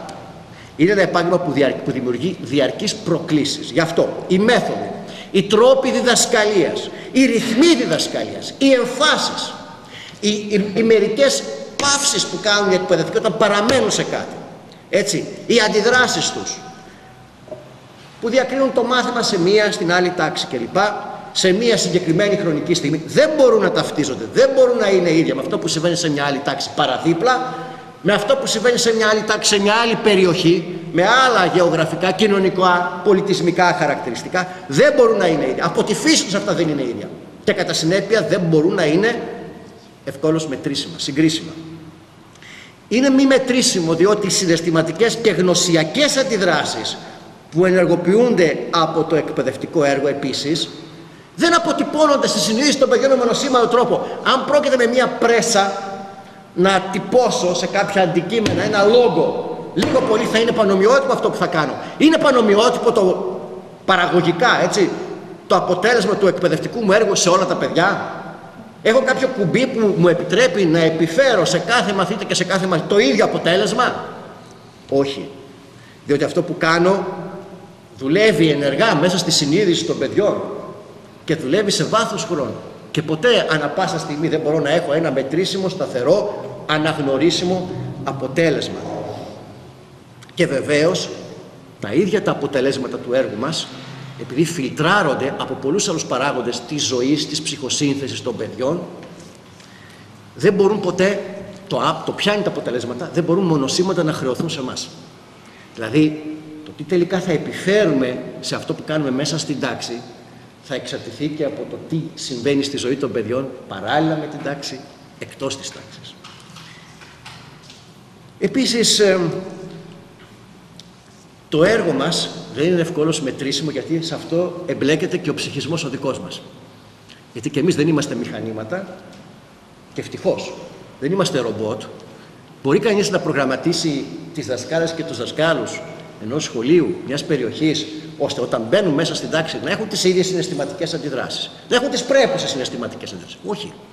Δεν μπαίνουμε μέσα στην τάξη έχοντας ενεργοποιήσει τους αυτόματους μηχανισμούς μας. Και να το θέσω λίγο διαφορετικά. Όλες οι συνθήκες ζωής των παιδιών επηρεάζουν το πώς μαθαίνουν, αλλά και όλες οι συνθήκες ζωής των εκπαιδευτικών επηρεάζουν με εμφανή και με μη εμφανή τρόπο. Επηρεάζουν όμως το πώς διδάσκουν. Το έχω πει με την ευκαιρία αυτού του θέματος και σε άλλες εκδηλώσεις μία δασκάλα και ένας δάσκαλος που τρέχει από γωνιά σε γωνιά της χώρας που βλέπει και κάποιες κάποιοι το έχουν δει τη ζωή της και τη ζωή του να γκρεμίζεται που πηγαίνει σε περιοχές και ψάχνει γιατί υπάρχει και το Airbnb να βρει διαμέρισμα δεν θα μπει ξαφνικά στην τάξη και θα πατήσει ένα κουμπί και θα έχει την βέλτιστη διαισθητική ικανότητα και συναισθηματική απόδοση, θα κουβαλήσει μέσα στην τάξη, όσο και να μην το επιθυμεί, τα άγχη της και την ψυχική κούραση που θα έχει υποστεί. Και τις ματαιώσεις αναφορικά με την αξία του επαγγέλματος. Και αυτές. Οι δάσκαλοι λοιπόν και οι δασκάλες ε, ενεργούν, διδάσκουν με όλη τους την προσωπικότητα. Με το συναισθηματικό τους κόσμο, την ιδιοσυγκρασία τους, την προσωπικότητά τους. Και αυτά είναι μη μετρήσιμα. Ούτε ευκόλως μετρήσιμα, ούτε ευκόλως χειραγωγήσιμα. Έβδομη επισήμαση. Οι πρακτικές αξιολόγησης σχολείων και εκπαιδευτικών παραμορφώνουν το εκπαιδευτικό έργο, ενοχοποιούν τους εκπαιδευτικούς, τους βάζουν σε μια θέση να ε, χρειάζεται διαρκώς να αποδείξουν ότι είναι κατάλληλοι επαγγελματίε. Η ίδια η αξιολόγηση με την οτροπία που τη χαρακτηρίζει υποδηλώνει ότι σε όλα αυτά τα παιδεία εγώ θεωρώ ότι δεν είσαι κατάλληλη επαγγελματίας, δεν είσαι κατάλληλος επαγγελματίας. Και πρέπει αυτό διαρκώς να το πιστοποιήσει. Αλλά η αξιολόγηση, ξέρετε, παραμορφώνει το έργο των εκπαιδευτικών γιατί το αποπροσανατολίζει.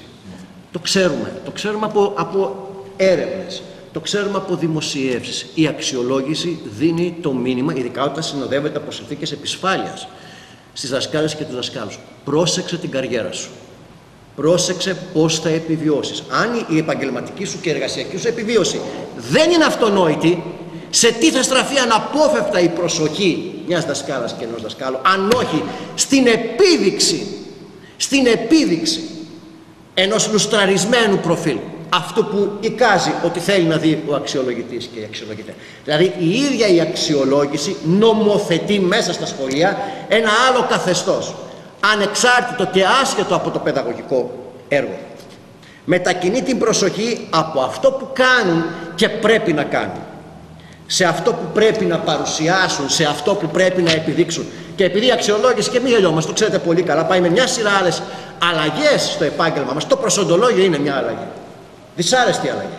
Απαράδεκτη αλλαγή το προσοντολόγιο. Το λέω ευθέως. Ω τμήμα είχαμε πάρει θέση, δεν είναι κάτι προσωπικό. Είχαμε πάρει θέση με ψήφισμα. Απαράδεκτη αλλαγή το προσοντολόγιο. Γιατί; Γιατί απαιτεί από τις δασκάλες και τους δασκάλους πράγματα που δεν τους θα προσφέρει η κοινωνία. Από πού και α πούμε μια δασκάλα πρέπει να έχει μεταπτυχιακό; Είναι κάπου αυτονόητο ότι ε, μπορώ να έχω να κάνω και ένα μεταπτυχιακό αν είμαι ας πούμε στην ΚΟ. Από πού η δασκάλα και ο δάσκαλος που είναι στην ΚΟ μπορεί να κάνει μεταπτυχιακό; Ή διδακτορικό. Βεβαίως μπορεί να κάνει γιατί έτσι νομιμοποιεί η αθλειότητα της Κύπρου και των 6.000 που πρέπει να πληρώσει για να κάνεις μεταπτυχιακό εξ αποστάσεως, έτσι. Αλλά σε κάθε περίπτωση το γεγονός και το έχουμε εισπράξει στο τμήμα μας ότι έχουμε πληθώρα μηνυμάτων από απόφοιτες και απόφοιτους μας που μας λένε κάντε μεταπτυχιακό εξ αποστάσεως. Εμείς για λόγους αρχής δεν κάνουμε μεταπτυχιακό εξ αποστάσεως. Κάντε ρε παιδιά μεταπτυχιακό εξ αποστάσεως. Φοιτητές και φοιτητές που μας έρχονται, μας στέλνουν κατά καιρούς κείμενα να κάνουμε κανένα διδακτορικό κύριε κλπ. Το ξέρουμε το μήνυμα, η εικόνα είναι σαφής. Πρόσεχε την καριέρα σου. Φτιάξε το προσοντολόγιο σου. Κοίτα, κοίτα τα προσόντα σου. Κοίτα όχι αυτό που κάνεις ουσιαστικά. Αλλά κοίτα τα προσόντα σου. Και όσο πιο σκληρή θα είναι, όσο όταν δρομολογηθεί η αξιολόγηση, αυτό θα ενισχυθεί.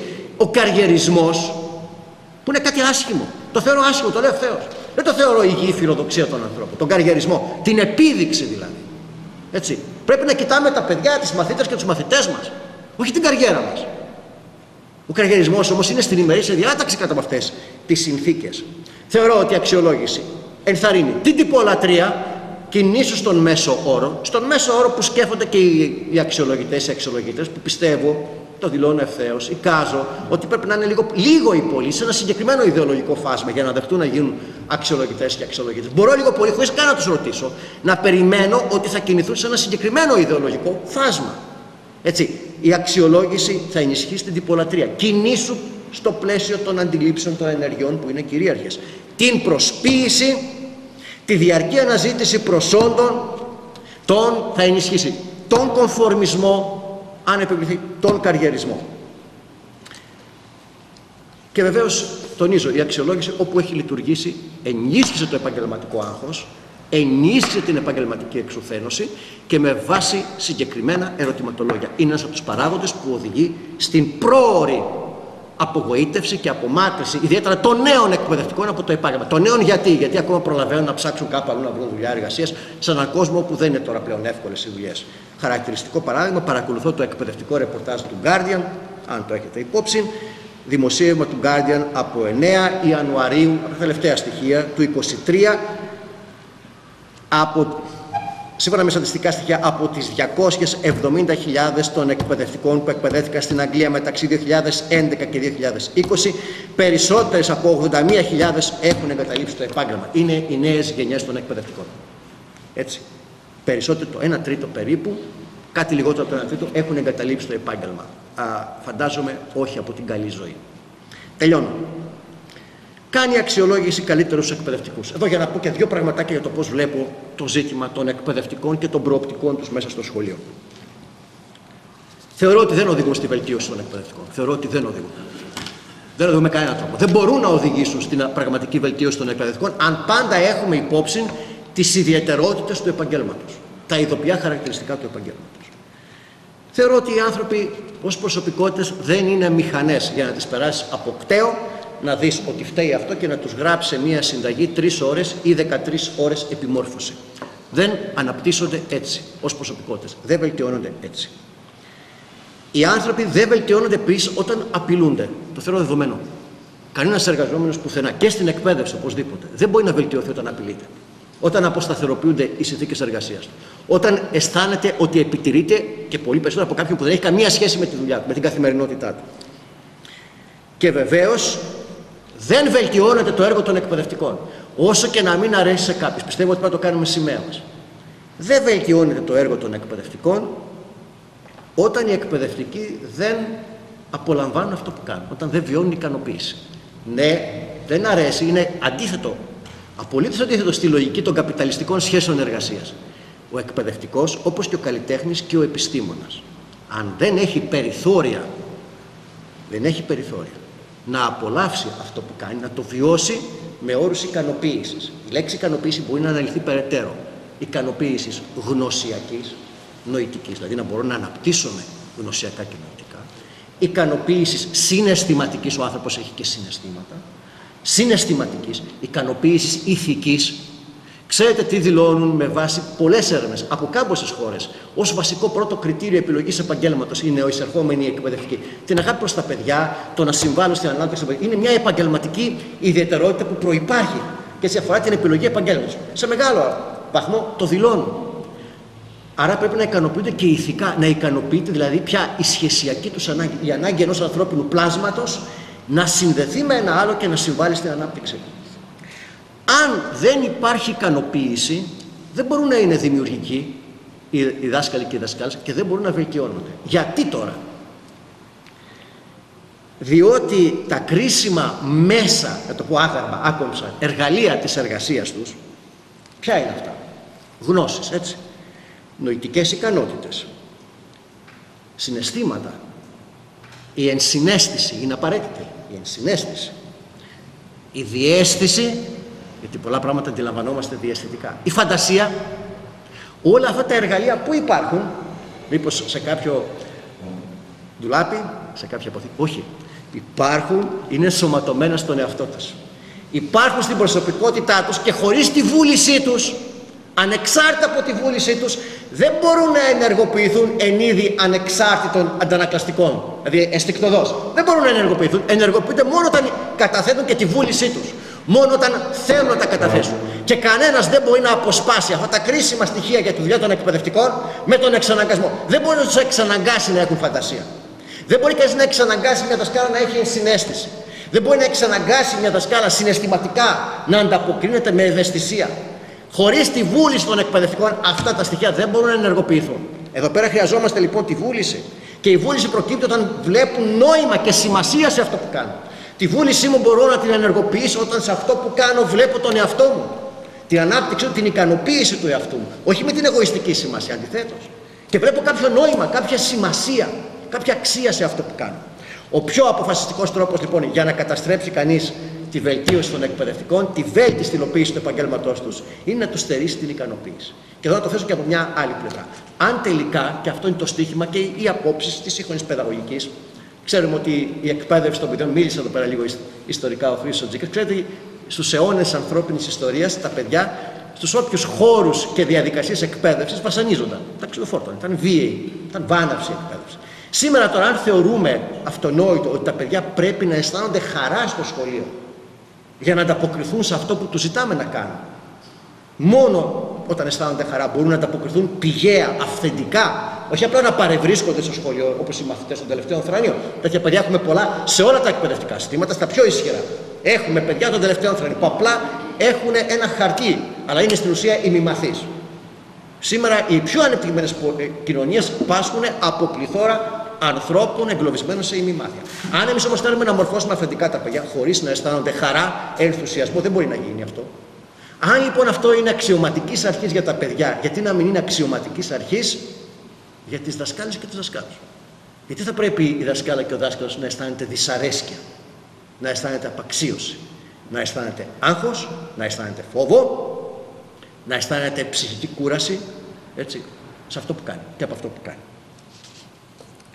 Τώρα, επιγραμματικά, τελευταίο επισήμαση, Για τη δημιουργική υλοποίηση του εκπαιδευτικού έργου, ποιου παράγοντε θα θεωρούσα σημαντικούς, μπορούμε να τους αναλύσουμε περαιτέρω αν υπάρξει έτσι και ερώτηση. Θα πάμε μετά στη συζήτηση. Δεν θέλω να συνεχίσω επί αυτού. Θα μπορούσα βεβαίως να μιλώ, αλλά έχω μακρηγορήσει πολύ.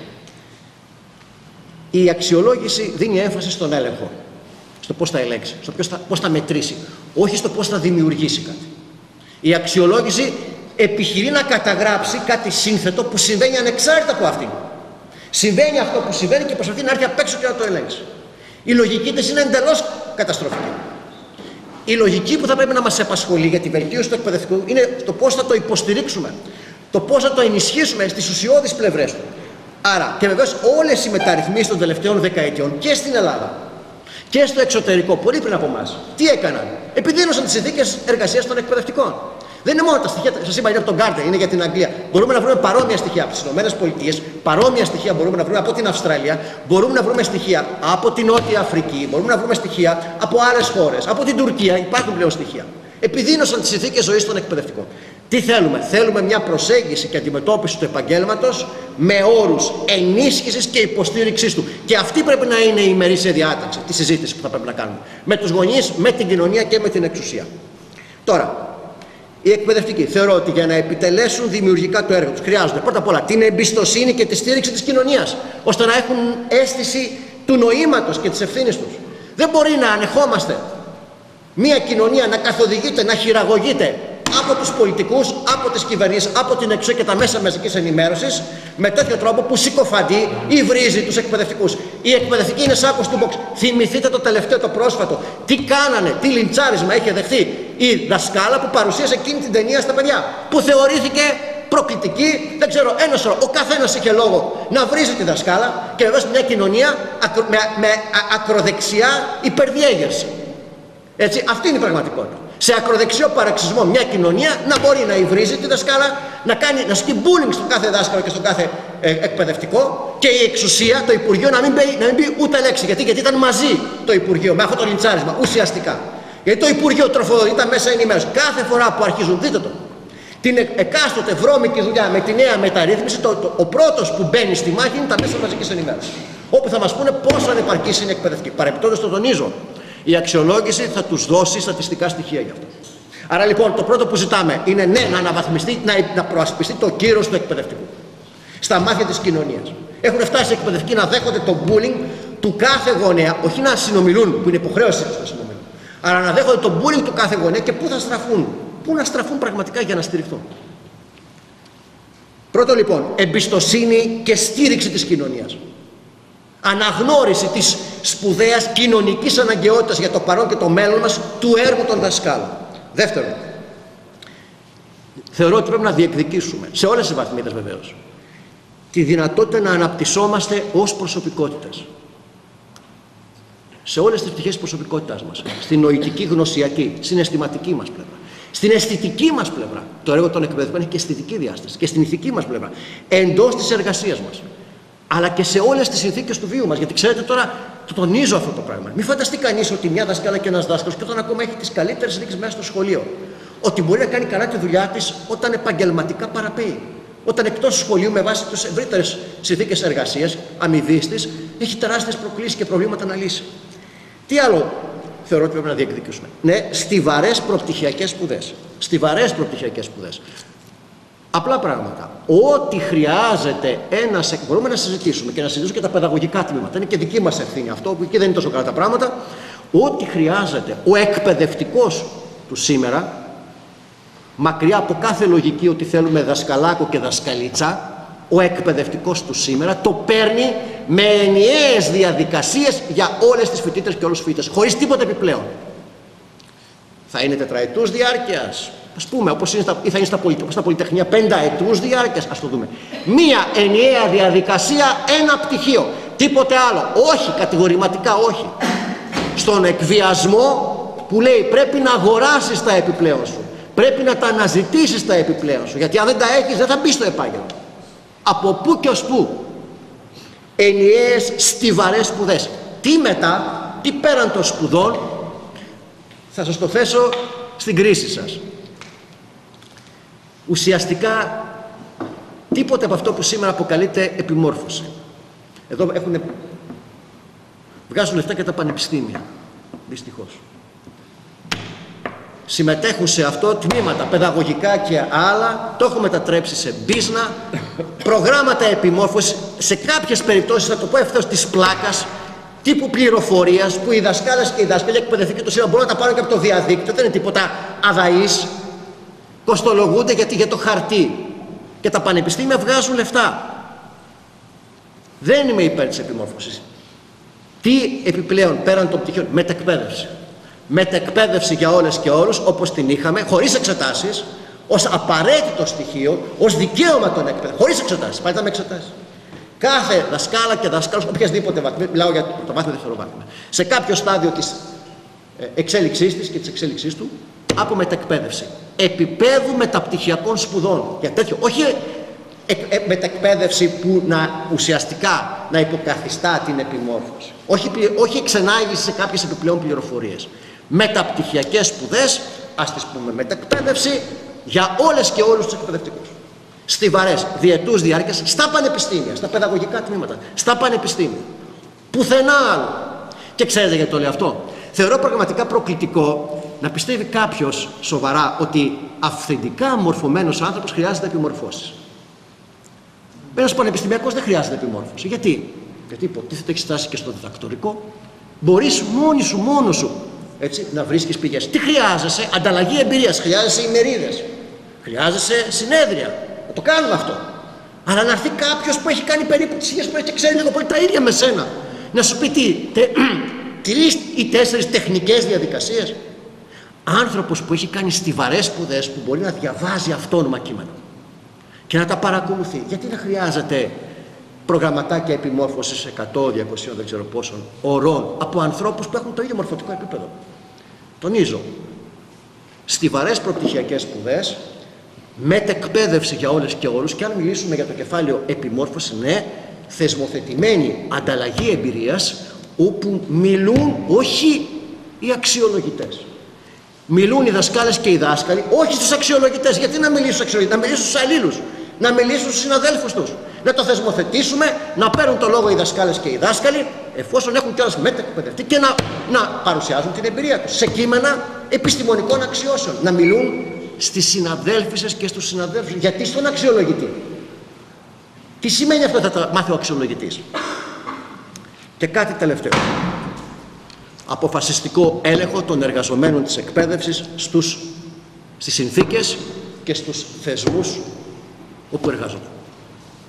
Ναι, αυτοδιεύθυνση των εκπαιδευτικών θεσμών από τους ίδιους τους εργαζόμενους. Δηλαδή, όλη η δύναμη στο σύλλογο διδασκόντων σε συνεργασία με το Σύλλογο των Γονέων και Κηδεμόνων. Αυτό είναι αναγκαίο. Μπορούμε να βρούμε και θεσμικά να το δούμε μορφές συνεργασίας και συμμετοχής του Συλλόγου των Γονέων και Κηδεμόνων. Αλλά από πού και ως πού ένας διευθυντής, ο καλύτερος να είναι, και ένας αξιολογητής ξέρει καλύτερα πώς θα κυβερνηθεί ένα σχολείο από τις δασκάλες και τους δασκάλους, του εκπαιδευτικούς που είναι σε αυτό. Από πού και α πούμε ένας επισκέπτης μπορεί, είτε πρόκειται για αξιολόγηση σχολικής μονάδας, είτε για αξιολόγηση εκπαιδευτικών, να ξέρει καλύτερα πώς πρέπει να λειτουργήσει αυτό το σχολείο ή και ένας διευθυντής από το σύλλογο διδασκόντων. Οι πολιτικές που επιβάλλονται οδηγούν σε φήμωση του συλλόγου διδασκόντων, φημώνουν τους εκπαιδευτικούς και μένει μόνο η μονοφωνία του διευθυντή που εξελίσσονται πράγματι. Το βλέπουμε. Σε μάνατζερ έχουμε πλέον και παιδαγωγικά τμήματα που έχουν καθιερώσει σπουδές διοίκησης σχολείων κλπ. Φημωμένοι εκπαιδευτικοί, εκπαιδευτικοί που δεν διοικούν, δεν αυτοδιοικούνται, δεν μπορούν να αναπτύξουν αίσθημα συλλογικότητας αλλά και ευθύνης. Χωρίς, όταν είσαι φημωμένη και φημωμένο, δεν μπορείς να συνδέσεις τον εαυτό σου με αυτό που συμβαίνει, γιατί δεν έχεις λόγο σε αυτό που συμβαίνει. Και όταν δεν έχεις λόγο σε αυτό που συμβαίνει, πώς μπορεί να προκύψει συλλογικότητα; Αίσθηση ότι εγώ ανήκω εδώ.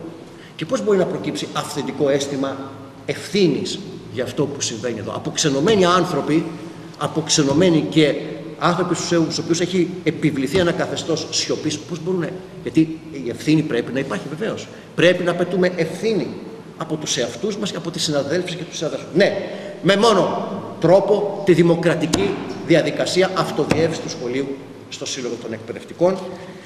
Με αυτά σας έχω κουράσει. Ευχαριστώ για την προσοχή σας και είμαι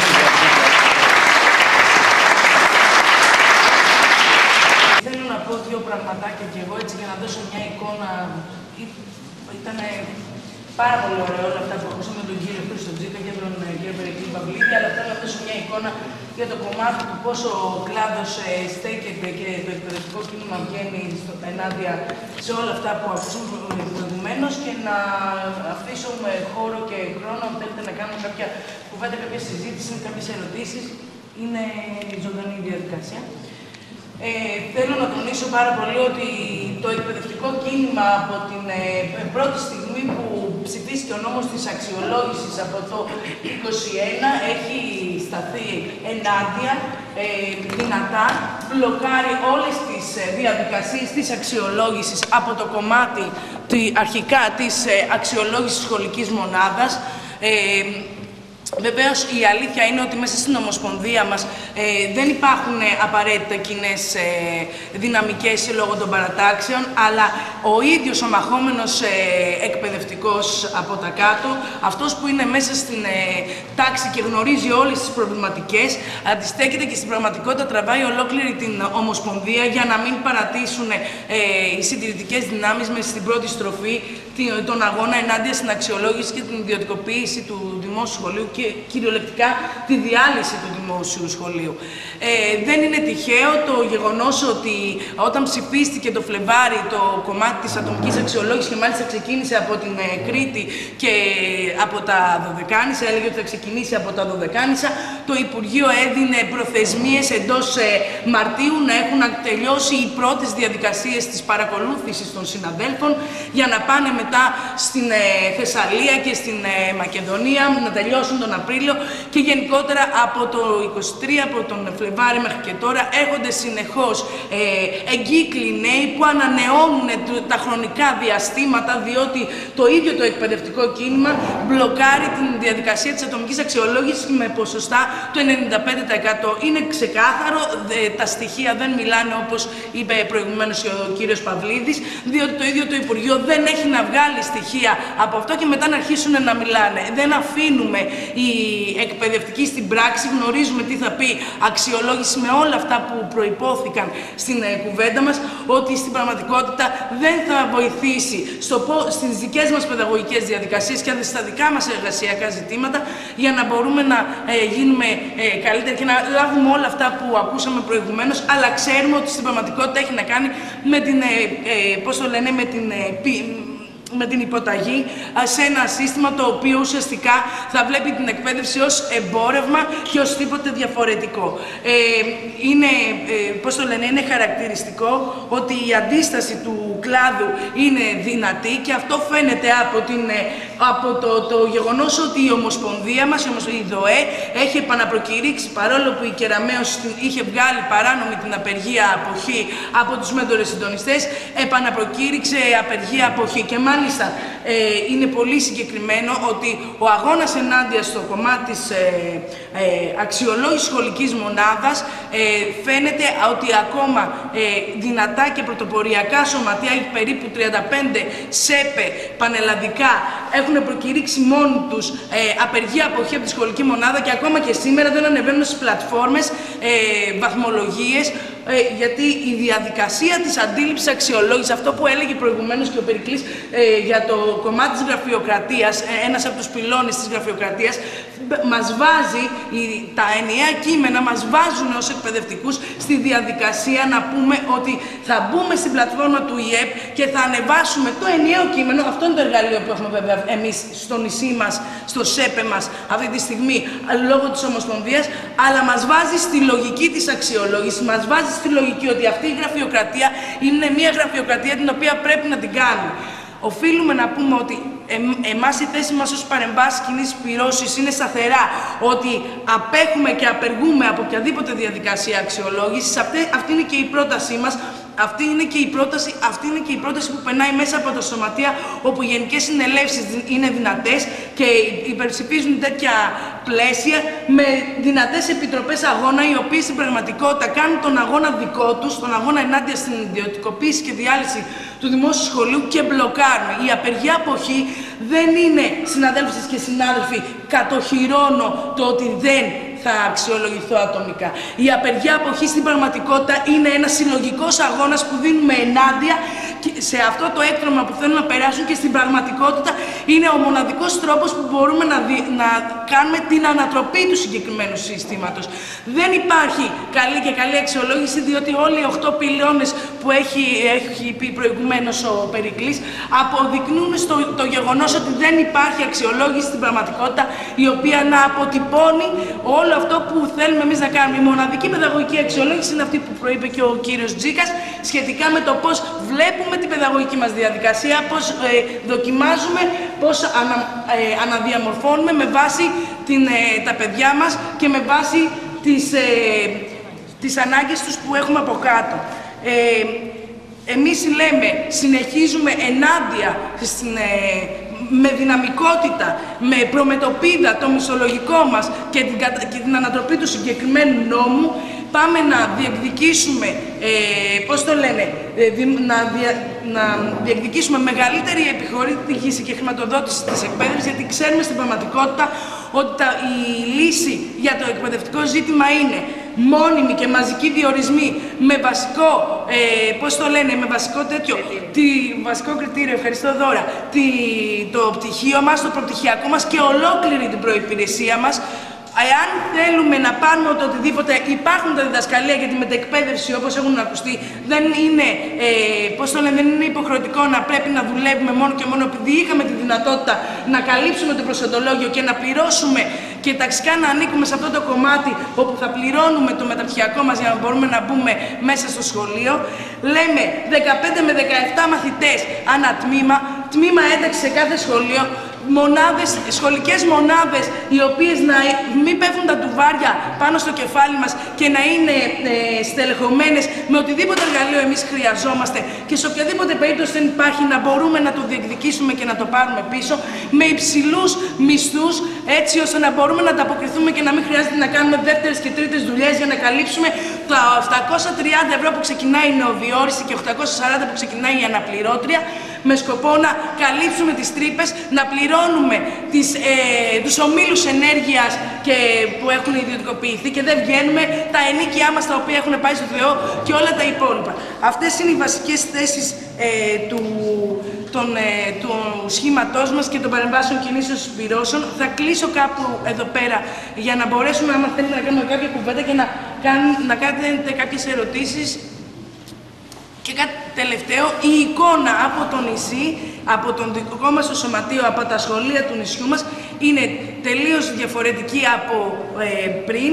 Ε, είναι τα μισά σχολεία σε απεργία αποχή, πάνω από το 70% των ε, δασκάλων, των νεοδιόριστων, συμμετέχουν στην απεργία αποχή από την ατομική αξιολόγηση. Είναι πολύ σημαντικά αυτά τα ποσοστά με βάση την εικόνα που έχουμε μέσα από τα ίδια τα σχολεία, όπως μπαίνουμε και ενημερώνουμε διότι ε, είμαστε ένας απομακρυσμένος τόπος, είμαστε ένας τόπος ο οποίος υποτίθεται ότι θα ξεκινούσε από εδώ η ατομική αξιολόγηση και παρόλα αυτά υπάρχουν συναδέλφες και συνάδελφοι οι οποίες και οι οποίοι αντιστέκονται απέναντι σε αυτό.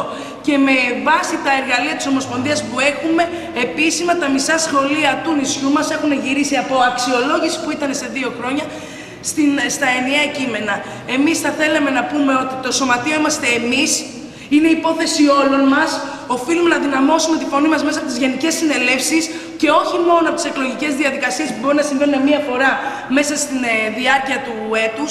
Είναι κάτι το οποίο αφορά εμάς και οφείλουμε να το καρποθούμε και να βγούμε με σημαία αυτό αγωνιστικά και επιθετικά απέναντι στην πολιτική του Υπουργείου και της κυβέρνησης όπου θέλει να μας υποτάξει σε ένα σχολείο το οποίο σίγουρα δεν μπορεί να μας χωρέσει εμάς τις ίδιες και τους ίδιους. Θα μας πετάξει όχι γιατί δεν είμαστε, δεν έχουμε πολλά πτυχία, γιατί δεν μπορούμε να, το, να ικανοποιήσουμε όλα αυτά τα κυρίαρχα τα οποία ζητάει. Δεν μπορούμε να, ε, να, να διδάσκουμε κάτι στο οποίο αντιφατικά είμαστε απέναντι. Οι εκπαιδευτικοί διδάσκουν και όταν αγωνίζονται. Αυτό το σύνθημα πρέπει να το έχουμε στο κεφάλι μας και με αυτό να βγαίνουμε σημαία μέσα στο σχολείο μας και να ενημερώνουμε τους γονείς μας και να συμμετέχουμε στις συλλογικές μας διαδικασίε.